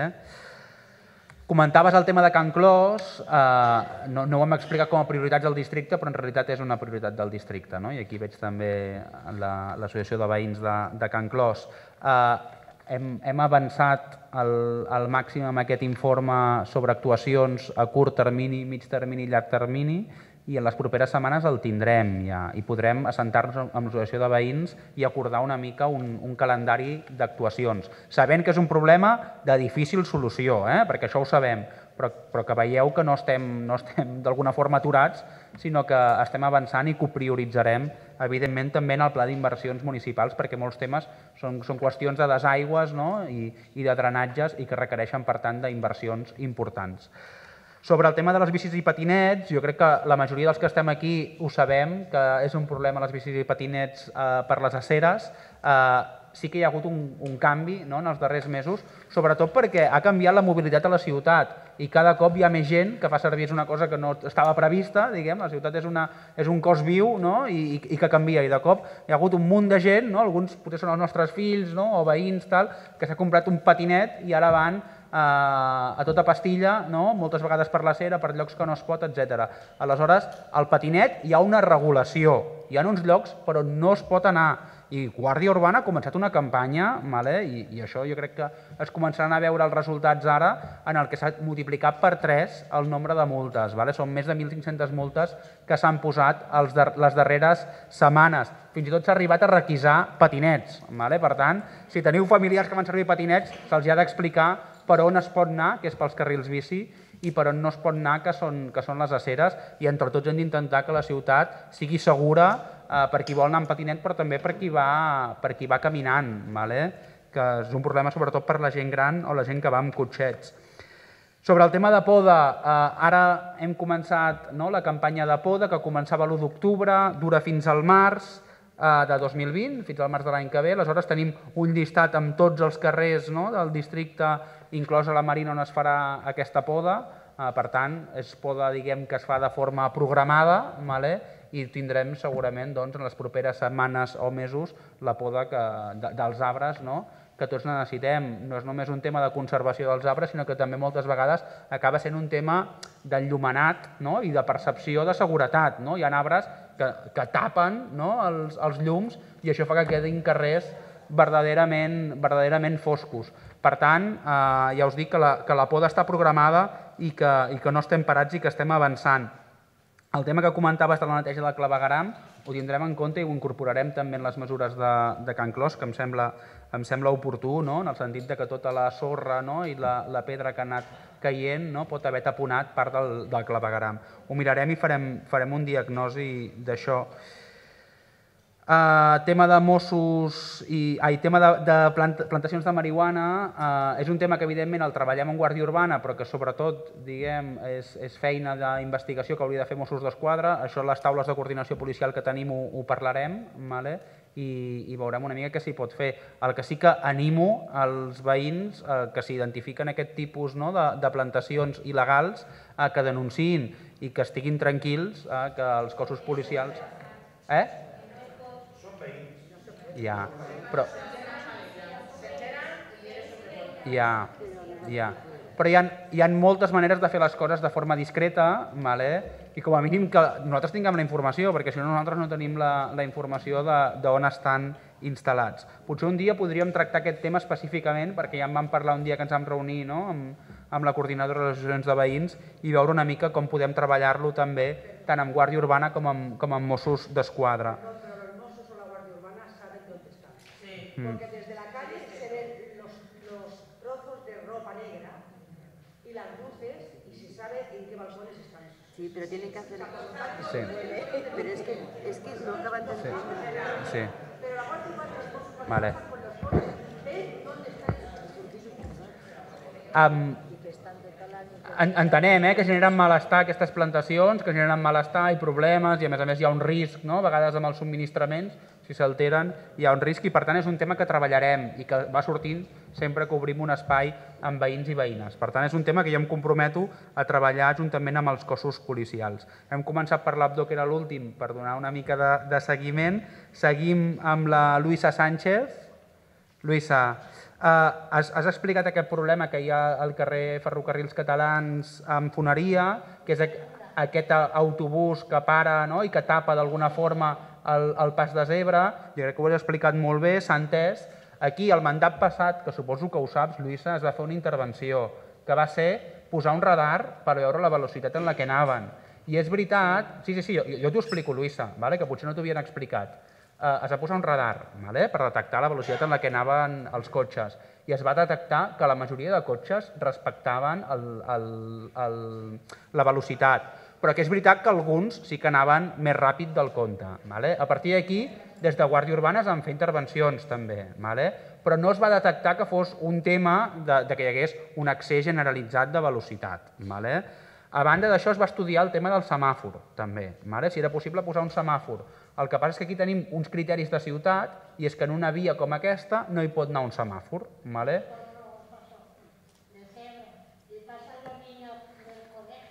Jo el que et dic... Sí, sí, sí no, no, que, que si, si vostè diu que és un perill, jo m'ho aniré a mirar també, que m'agrada veure les coses. Si vostè diu que és un perill, jo m'ho crec i, i entenc que vostè el que té és una preocupació raonable i totalment fundada. Aleshores, el mandat passat es va mirar amb el tema de la velocitat, aquest mandat tornarem a entomar el tema i mirarem aviam si hi ha alguna altra alternativa o si mm, es pot intervenir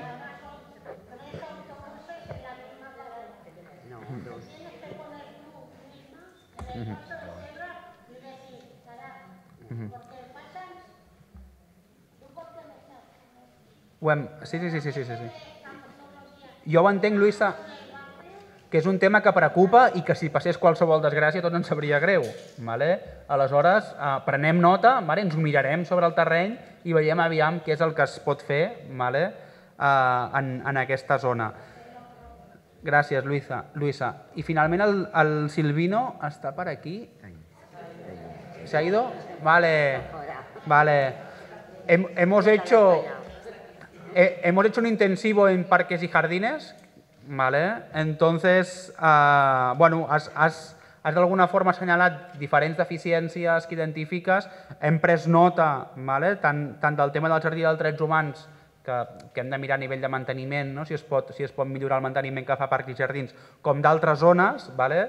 Uh, prenem nota i esperem que el proper Consell de Barri podem explicar que algunes d'aquestes coses han millorat. Sí que et diria en concret que eh, això que explicaves, que hi ha herbes que surten de plantes baixes, no? que són més altes, això ens ho hem mirat en parcs i jardins i el que ens diuen és que, clar, són terrats de, o patis de, de plantes baixes que són particulars. Aleshores, clar, és el particular qui ha de fer aquest manteniment. Parcs i jardins no pot entrar, per molt que el particular surti a fora, no, no pot entrar en els jardins particulars a fer el manteniment que no fan els veïns. Però en tot cas ens ho mirem i veiem si, si la qüestió és tan greu com perquè l'Ajuntament d'alguna forma eh, faci un acostament en aquests veïns per veure què és el que passa amb el manteniment d'aquestes herbes. Vale?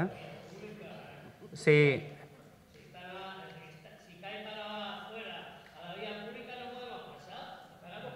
Ja, ja, ja. Ja. Sí, el, el que ens diuen és que Parcs i Jardins no pot fer aquest tipus d'intervenció, vale? Però ens, ens ho mirarem vale? i veurem aviam si el que hem de fer és parlar amb els veïns i que els veïns facin realment el manteniment que, han de, que hem de fer tots a casa nostra, perquè al cap i a la fi que són problemes que dius, ostres, és que no és un jardí de l'Ajuntament, és que són, no? Vale. Pues nos hemos entendido perfectamente. Nos hemos entendido perfectamente, Silvino. Miramos desde el distrito a ver si, si podemos contactar con los vecinos y ver a, a, ver si asumen también un poco sus obligaciones ¿no? de conservación de, de los jardines. Doncs amb això jo crec que més o menys tot ha quedat contestat. Vale? Segur que hi ha moltes altres coses.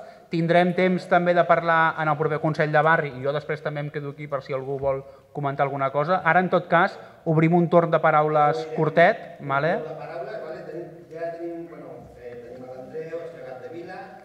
¿Quién es? Maria Rosa... Vale.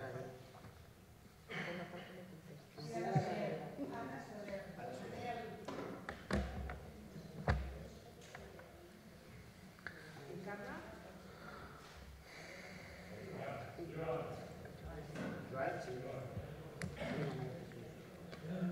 Encarna? Algú més? Vale, doncs eh, tenim set intervencions de paraula, intentem ser una miqueta curosos, 3-4 minutets, ens queda mitjoreta, el regidor ha donar resposta als plantejaments que en fareu. Doncs, eh, Maria Rosa. Hola, bona tarda. La meva, les meves qüestions són al voltant de la plaça de la Marina. Ja a l'anterior a l'anterior mandat vam dir que no hi havia contenidors de reciclatge. Hi ha bars, fruteries, tot ho llencen a la brossa normal perquè no n'hi ha. Després, el parc de la plaça La Marina, a l'infantil, és una brutícia. Ara es fan tois. Quan plou, al matí no pots anar perquè està tot ple de tois. Es fan mosquits. Els coloms que venen a menjar, les deixalles que deixen els que venen a la nit a jugar. Està molt descuidat aquest parc i no tenim ombra. Quan arriba a les 11 del matí ja no podem estar perquè el sol crema el tobogan i ja no hi ha qui pugi. I últim, una cosa última, les llums de la plaça de la Marina estan enceses des de fa dos o tres mesos de forma intermitent de nit i de dia. Gràcies. Eh? Hola, bona tarda. Eh, jo volia comentar tres coses. Fa un any, quan se va obrir el, el metro, vaig avisar que eh, enfre- en, la, en la serra d'enfrente, o sigui, hi ha uns panels elèctrics enmig de la serra. Van fer la serra molt gran, però jo està al mig. Quan vagis amb un paraigua està plovent, te fots de, de, de, de l'orus contra allò, o una persona gran que no hi vegi. pues, si la serra és gran, aparteu-la d'allà enmig, o sigui, l'han deixat on estava. I això ho vaig dir ja, fa un any. A la cantonada d'enfrente, sí, on estava la caixa. Hi ha una farola també allà enmig, o sigui, és que va fer la, la serra molt gran, però totes els que estaven, eh, o sigui, eh, la d'això de la, del semàfor o el que sigui, o sigui, està allí i, i està tal qual. O sigui, fa, Sí, els quadres de mandos i una, fa un fanal també hi ha, un, dues o tres coses que se, quan se va omplir, o sigui, se va agrandar la cera per seguretat, pues això es, es va deixar allà al mig i allí queda molt bufó, però res més. Per tant, es fa un any ho vaig denunciar aquí en un Consell de Barri i no s'ha fet res. La segona cosa que vaig denunciar va seguir el carrer Coure, eh, que fa una L, que surten la gent del Ramon Casas i passen per el poliesportiu, hi havia una manca, una manca de papereres. Es van col·locar, però aquest estiu s'han tornat a apartar. Ha, han marxat totes. No sé si tenen cames o què, o han marxat totes papereres. Es veu que, que tenien pressa. Jo no sé si és que ho han tret, els han tret els mateixos de, de la neteja, eh? el canviant de la neteja ho ha tret. Llavors, jo no sé si és perquè hi ha incivisme per part dels veïns que deixaven la basura allí, però suposo que hi ha un altre estil per avisar o per això. No a les mares que venen al poliesportiu a deixar els crios o el que sigui i volen berenar, tenen algo, ara on, on ho tiren, ho tiren a terra. Llavors, és un, hi ha cuques, hi ha... Bé, coses. Després, ja fa dos o tres consells, vaig demanar una mica d'indicadors perquè indiquessin on està el, el poliesportiu, perquè està amagat, no està amagat, vull dir, es, es veu, però el nom de poliesportiu de la Marina està per detrás. Per tant, si tu vas pel carrer Energia o vas pel carrer Alumini, comences a donar voltes i dius on està el poliesportiu. I venen, venen autocars perquè venen de Sevilla, venen de Madrid, perquè si, allí se juga a Liga de futbol de, de vòlei del Barça, per tant, hi ha gent que comença a trucar a on està el pavelló perquè estic aquí estic perdut. I per tant, uns indicadors no costaria res. I l'última cosa, i acabo, és el circuit de Calestènia, que sí que està molt maco per d'això, però encara no s'ha començat. O sigui, no sé ni quan se començarà, ni quan faran, que era del pla de barris, vale? que això és el que tu has parlat abans, que jo te dic, bueno, ara te pregunto jo de- d'aquest circuit com està. Gràcies. Gràcies, Andreu. Eh, ara tenim la paraula a la Soler. Bona tarda. Jo volia, seguint amb la, la col·laboració que ha fet el Silvino, volia incidir que al carrer aquest, mm, Joan Adams, o Jan Adams, aquest que hi ha la... Eh, els arbres és, són terriblement fantasmagòrics.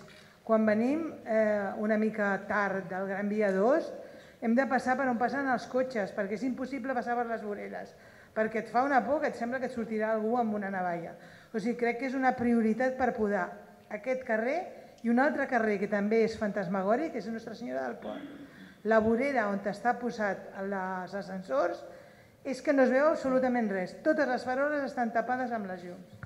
Això per una banda. En quant al mercat, que s'ha parlat aquí del bon preu, jo volia preguntar, eh, al meu marit li han dit, empleats del bon preu, que havien marxat perquè l'Ajuntament no li havia renovat la concessió administrativa. Si és així, doncs una mica saber què pensa fer l'Ajuntament. Si posar un altre súper, si serà una, una, una cosa que podrà fer servir al barri o per on aniran, per on aniran els trets. I ja de manera definitiva voldria suggerir que el parc aquest dels drets humans que li podríem posar, crec que estaríem tots d'acord, dret dels gossos, perquè no hi ha manera humana de poder portar ni una criatura, ni una persona, ni res que se li assembli. Perquè jo entenc que li pugui agradar el gos a les persones, però porten tres o quatre gos cada persona, es posen a xerrar i tu no pots deixar el nen sol de cap manera. Si us plau, jo ja sé que el tema dels animals és perillós i que treu vots i que no el voleu tocar mai, però, per favor, canvieu-li un nom i poseu-li part dels drets dels animals i, tot, i tot, tothom quedarà ja segur de que ja no pot anar amb els nens. I ja per acabar volia fer un, una pregunta a l'Ajuntament, no sé a qui li correspon. Eh, l'entitat de la Caixa mm, té els caixers que donen a la, a la vorera i no sé per quina raó no té una paperera ja posada. Jo vaig entrar a fer una queixa a la Caixa i em va dir que no la podien posar perquè l'Ajuntament no els hi donava permís. Això és cert o no és cert? Perquè és que està al terra ple, ple de papers. Gràcies, Anna. Hola, bona tarda. Jo el primer que volia dir era si les coses que havíem parlat en el mandat anterior, si això ho guardeu o no ho guardeu, o es té que tornar a recordar. Perquè jo fa temps que estic dient que nosaltres havíem acostat d'una autovia. És a dir, el passeig, el passeig de la zona franca algun dia s'haurà de pacificar. Tenim semàfors que estan enganxats a les palmeres, tenim semàfors que estan amb pedres de fa més de 10 anys provisionalment i no hi ha manera de que això s'arregli. De vegades pacificar no vol dir fer el passeig nou, és simplement posar algunes senyals que, que ens patrulli una mica la Guàrdia Urbana i que controli la gent que va a excés de velocitat. Posem un radar, posem el que calgui i que la Guàrdia Urbana patrulli. Se'ns va comentar l'any passat, bueno, no, perdó, a començaments d'aquest any, si no recordo malament, que teníem una patrulla al barri de Guàrdia Urbana. Deu anar molt camuflada, perquè jo no l'he vista mai. Per tant, i el tema de patins que estàveu comentant, sí que hi ha una norma, i l'Ajuntament és, el que la va, és el que la va editar, però s'aplica aquesta norma? No. Perdoneu-me, perquè el passeig de la zona franca per les voreres no pots anar. Jo tinc dues netes, una de dos anys i una de cinc anys, i el més perillós és anar pel passeig de la zona franca caminant. Vull dir, a veure, senyors, o per bicicletes o per, o per patinets, tens que anar vigilant costat, un costat i l'altre, a veure per on et venen. Vull dir que només aquest recordatori al passeig de la zona franca, pacifiqueu-lo. Uh -huh. Penso, i que la Guàrdia Urbana que la puguem veure. A mi m'agradaria saber que és Pepito, o que és Fulanito, o que és Menganito, i poder-lo saludar cada dia. Però no, deuen anar molt camuflats. Ara donem la paraula a Jesús.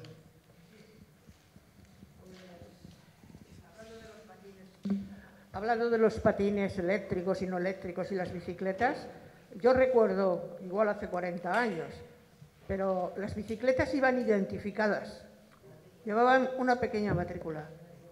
¿Por qué no toma nota el ayuntamiento y los patines y las bicicletas, sobre todo los eléctricos y las bicicletas van identificadas? Porque tú tienes un percance con, en la calle, te caes, te tira una bicicleta o un patinete el tío se larga y te quedas tan tranquilo porque no te hacen, o sea, no sabes a quién recurrir. Esta es una. Eh, la siguiente es referente a los parques infantiles o jardincillos que hay con algún columpio o tobogán aquí. Eh, sobre todo me refiero a San Cristóbal, que es lo que más conozco. Eh, son de tierra, de tierra sucia, de, con cacas de perros, etcétera. ¿Por qué no se pone corcho? como se ha hecho en Hospitalet en la mayoría de los parques infantiles. Acorchar los parques infantiles y acotarlos. Acotarlos, ¿vale?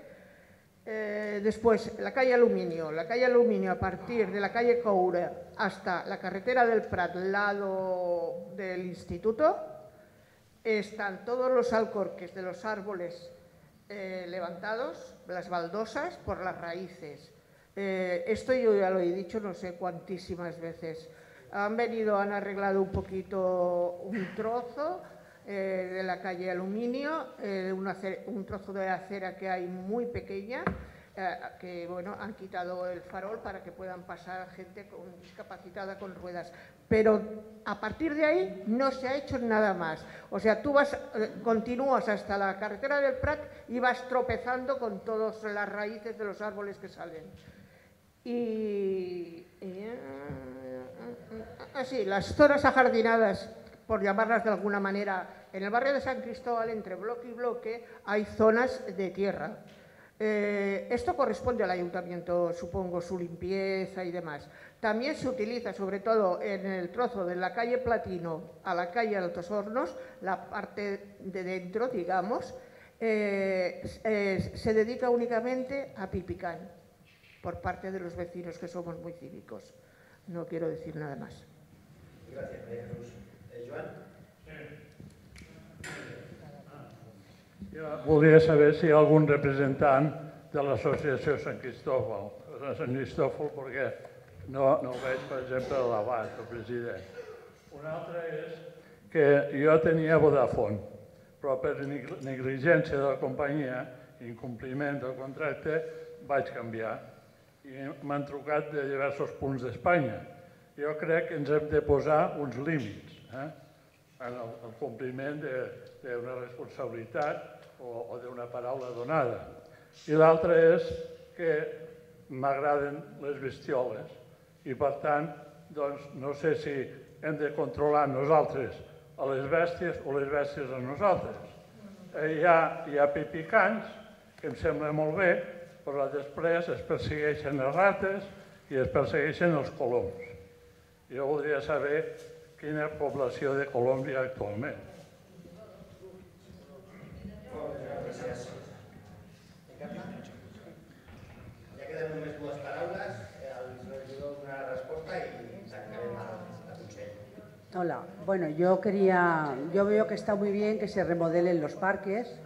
El- eh, la FIRA, lo que han hecho para patinaje está muy bien, sin tener en cuenta a los niños pequeños, que un día pasará algo eh, ahí porque no han tenido en cuenta que hay niños pequeñitos que van con bicicletas y los mayores van con los patines y algún día pasará algo. Aparte de esto, eh, yo quería decir, eh, ya lo he comentado en, otros, en otra- otras veces que he venido, ¿por qué no nos ponen a estos barrios los especialistas, los médicos especialistas? Tenemos los dos ambulatorios, nada más que para el CAP de cabecera y algún especialista traumatología y ginecología. No hay nada más, no hay para una, una- una radiografía, una ecografía, no hay para nada. Y hay mucha gente mayor que no pueden desplazarse y los traumatólogos y cualquier médico de especialista hace falta en el barrio.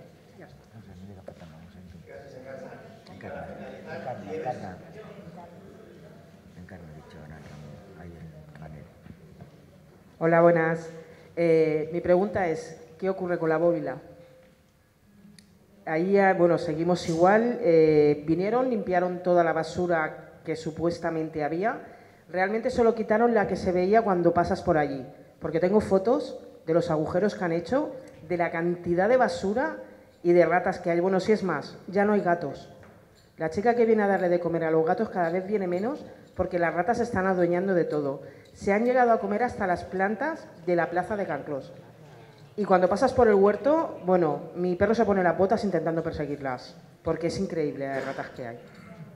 Nada más que bueno, con una solución porque aquello es insalubre total. Doncs ja donem per acabat aquest torn de paraules i ara el regidor doncs, donarà resposta a les nostres peticions.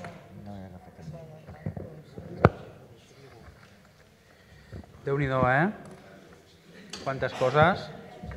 Me duele la mano de escribir. Aviam, uh, Maria Rosa? Sí. Uh, bueno, jo crec que has assenyalat tres qüestions clau de la plaça Marina i que crec que tens tota la raó del, del món. Un, un segon, un segon, que encara no hem començat. Vale? Vale, vale. Bueno, jo, jo he apuntat tres. Uh, el tema dels contenidors de reciclatge, que revisarem no? si, es pot, si es pot incrementar la freqüència vale? de contenidors de reciclatge.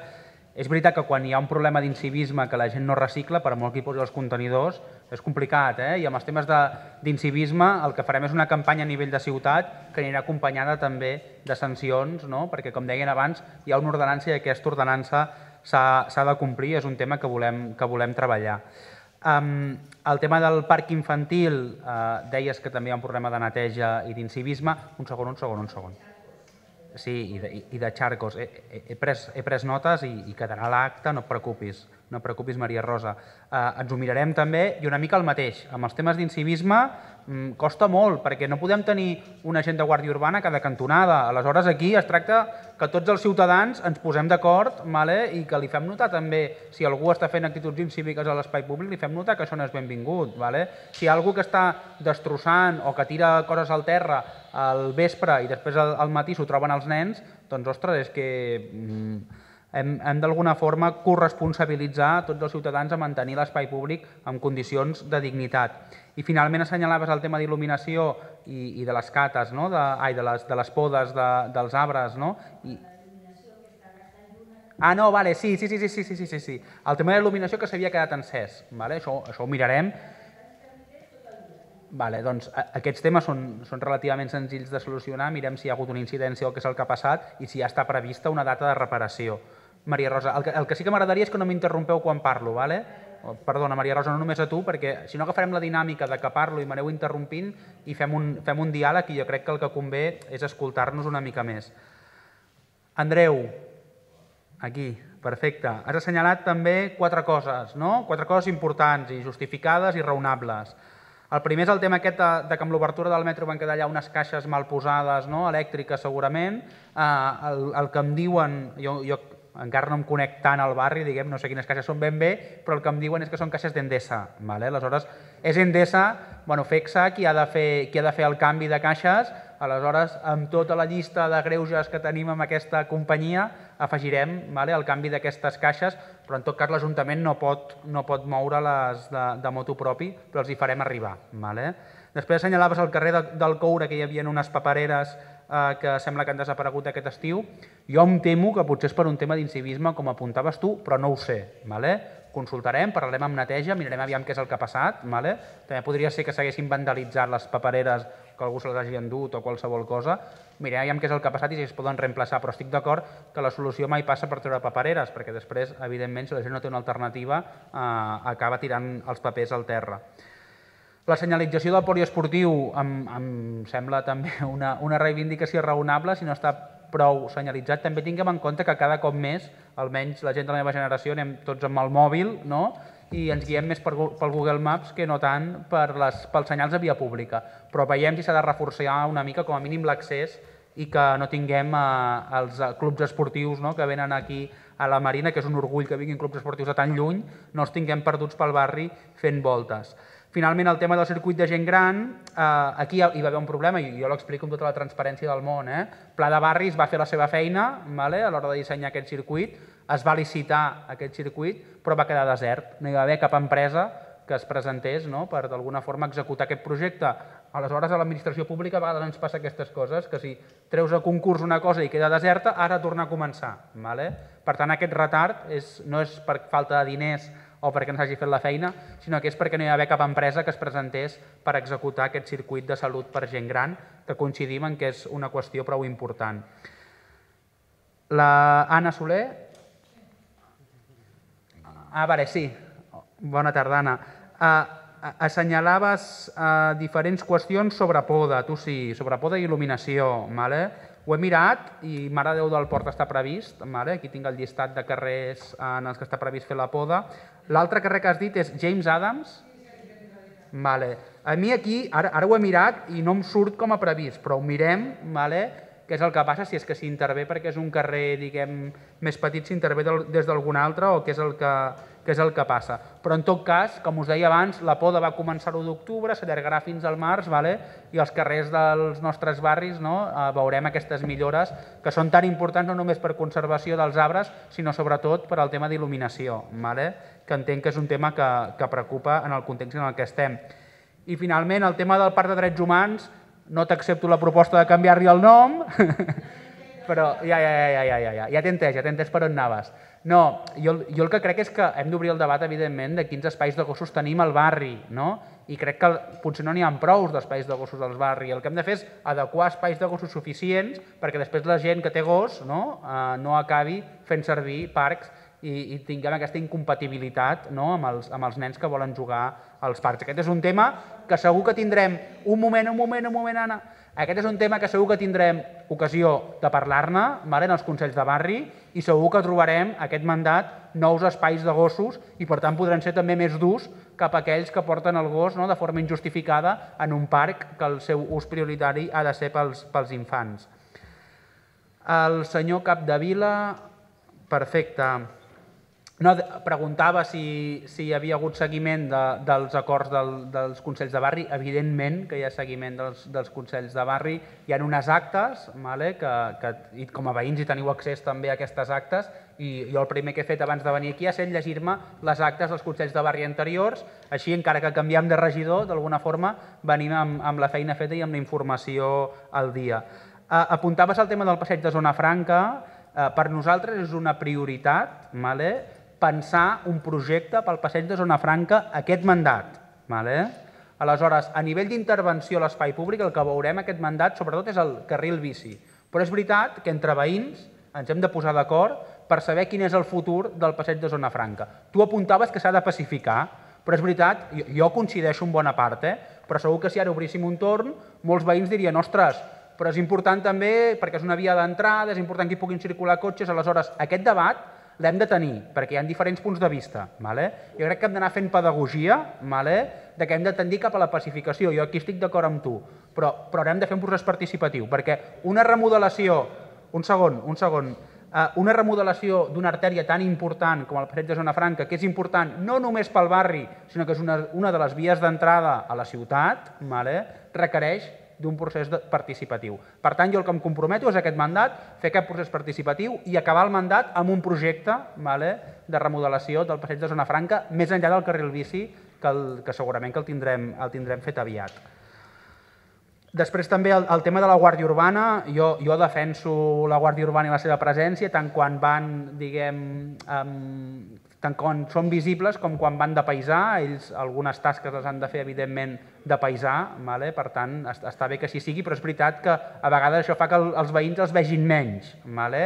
En qualsevol cas, eh, tot el suport a la feina que fa Guàrdia Urbana, Guàrdia Urbana sí que està a la Marina, ens agradaria que hi fos més, eh, però això no és perquè no vulgui, no perquè el districte no prioritzi, sinó és per un dèficit d'efectius acumulat i estructural en el temps. I aquest mandat l'acabarem amb 600 agents nous de Guàrdia Urbana, vale? i per tant segur que els veurem molt més pel, pel barri pel districte en general. Maria Jesús, Sí, uh, el, el que és que és un tema que surt sovint, eh? el de les bicicletes i els patinets elèctrics, com és que no tenen matrícula, uh, això és un tema de la Delegació General de Trànsit vale? de la Generalitat de Catalunya. Aleshores, nosaltres com a Ajuntament no ens podem inventar una normativa per obligar la gent a portar una matrícula a la, a la bicicleta, als cotxes o als patinets, sinó que això qui ho ha de fer és la, la Generalitat de Catalunya, la Delegació General de Trànsit. Vale? Aleshores, és un tema complicat, hem de trucar a l'altre cantó de plaça Sant Jaume. Vale? Um, apuntaves que hi ha parcs infantils, apuntaves moltes coses, eh? però a, a, algunes, mare, la resta hem, hem pres nota. Apuntaves que hi ha parcs infantils que requereixen d'una remodelació, jo estic d'acord, vale? i aquest mandat ja hi ha un pla per remodelar tots els parcs infantils de la ciutat, que no es farà liderat des del districte, sinó des de l'àrea, vale? I, i per tant segurament que veurem canvis en moltes zones d'espais infantils, vale? que ja toca i que ja s'han de, de renovar i de remodelar. Després apuntaves altres qüestions d'incivisme que jo crec que les he contestat, eh? que farem una campanya d'incivisme eh, al llarg d'aquest mandat.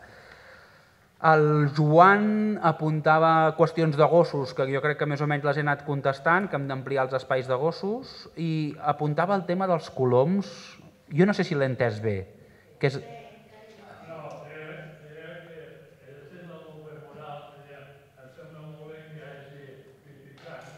Sí,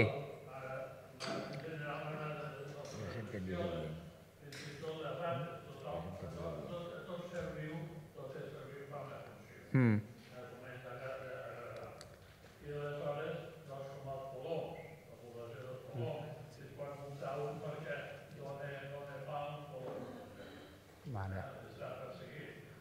No, el, ara, ara, ara, ara l'he entès, ara l'he entès, Joan. Sí, sí, sí, sí. Ara l'he entès, sí.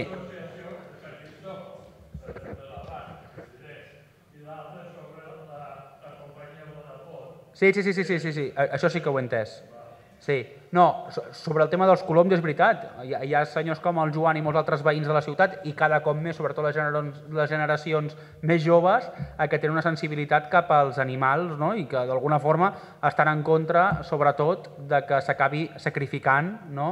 eh, els coloms. Aquest és un tema que el vam treballar molt al mandat passat i ara el que fem és esterilitzar els coloms amb, amb el, amb el pinso, evitant sacrificar-los i matar-los perquè, ostres, ens agradin més o menys, són éssers vius i d'alguna forma el que hem d'intentar és que no es reprodueixin perquè és veritat que hi ha algunes zones, jo per exemple soc veí del Poble Sec, allà hi ha molts coloms i haig de netejar el balcó un parell de cops la setmana perquè em queda ple de, de merda. Aleshores hem de veure com fem compatible no, aquests, aquest tipus de polítiques que jo crec que són un avenç no, a, a l'hora d'acabar no, amb aquests sacrificis de coloms amb, amb, una, amb una tasca també de, de convivència no, a la ciutat, no només entre veïns i veïnes, sinó també amb els diferents animals que hi ha. I sobre el tema de Vodafone és el que explicava abans. Ja, ja, eh, jo espero que en les properes setmanes estigui, estigui resolt vale? I, i confiem en que, en que l'ascensor pugui estar en marxa ben aviat. La, la Encarna, eh, Encarna? Aquí, sí. Explicaves eh, el tema del parc de patinatge, eh, entenc que és el de la plaça del Moviment Obrer, eh? S'ha pensat de forma participativa aquest, pla, aquest, parc de patinatge i, i s'ha pensat que hi hagi un espai més pels, pels nens, un espai més infantil en el que poden patinar nens de 5-6 anys ja, vale? amb un espai pels adults, que és l'espai que està més al fons. Vale? Per tant, d'alguna forma ja s'ha pensat. És veritat que si vas anar allà amb un nen de dos anys i es posa al mig de la pista, doncs potser no és ben bé la, el, el lloc convenient, no? I un nen de dos anys ha d'anar més a una zona més infantil, no? que, que en aquest parc de patinatge no hi és, però perquè un nen de dos anys no pot patinar. Uh, però en tot cas els adults, no, d'alguna forma ens toca a vegades no, cuidar de que aquests usos incompatibles no es donin. Però el parc de patinatge s'ha pensat ja perquè els nens, de seguida que comencen a patinar, jo he vist nens patinar allà amb 4 o 5 anys, ja puguin estar en el parc i gaudir-lo. Um, el, el tema que apuntaves dels metges especialistes, això ja ho, ja ho sabeu, les qüestions de salut són competència de la Generalitat de Catalunya, nosaltres evidentment col·laborem i ens coordinem també amb ells a l'hora de fer-los arribar les necessitats dels barris.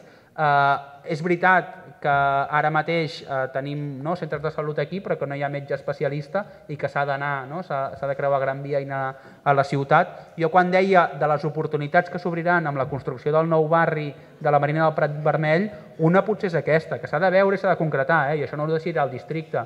Però dius, ostres, si incrementem en 20.000, 30.000 persones amb aquests 10.000 habitatges nous, doncs potser serà el moment perquè hi hagi un hospital no? amb, amb medicina especialitzada, amb atenció especialitzada als barris de la Marina. En tot cas, això és un debat obert vale? que l'hem de tenir amb la Generalitat de Catalunya, que és qui, qui té la competència en, en temes de salut. I finalment, la Nieves... Sí. No, allà. Sí. Apuntaves al tema de la bòbila, eh, el, el que em diuen, jo la veritat és que no el conec aquest tema en concret, però el que em deia l'Ester és que és d'un particular, vale?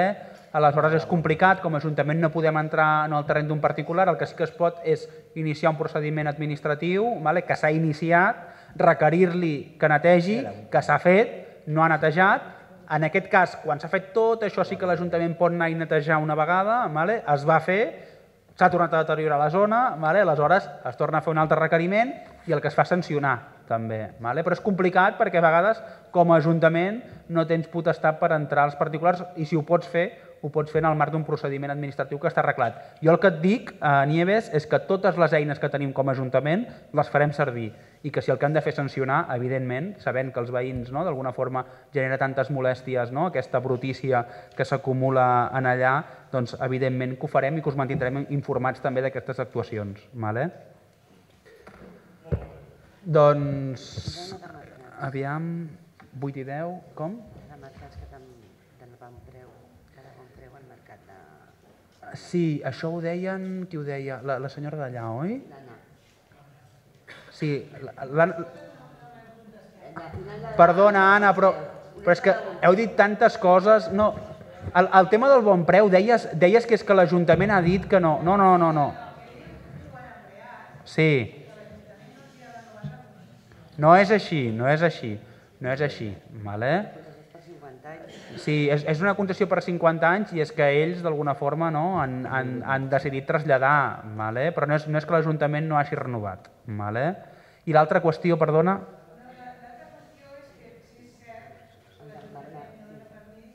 Ah, sí, el de la caixa.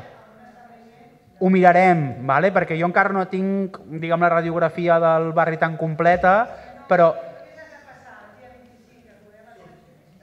són totes les caixes. Totes sí, ho mirarem. Si és via pública, qui ho ha de fer és l'Ajuntament. Vale? Aleshores ho mirarem i segur que en el... Una paperera allà, oi? Però el problema està que si hi ha espai per posar la paperera o si la paperera és de, l'ha de posar la caixa. Mira, Anna, Anna, perdona, i intentem acabar tots junts la reunió i no, no obrir... No, aviam, si és, si és una necessitat de tirar papers vinculada a una activitat de la caixa, vale? el que ha de fer la caixa és posar la paperera i posar-la dintre del seu espai. Vale? Això és com si un bar...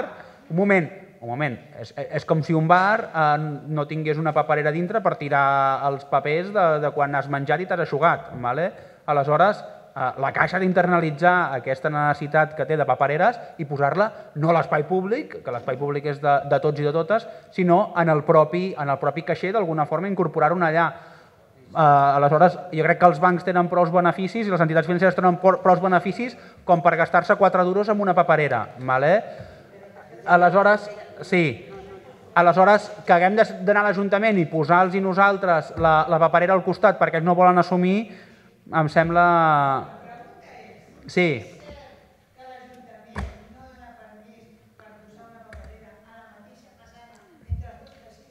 És fals.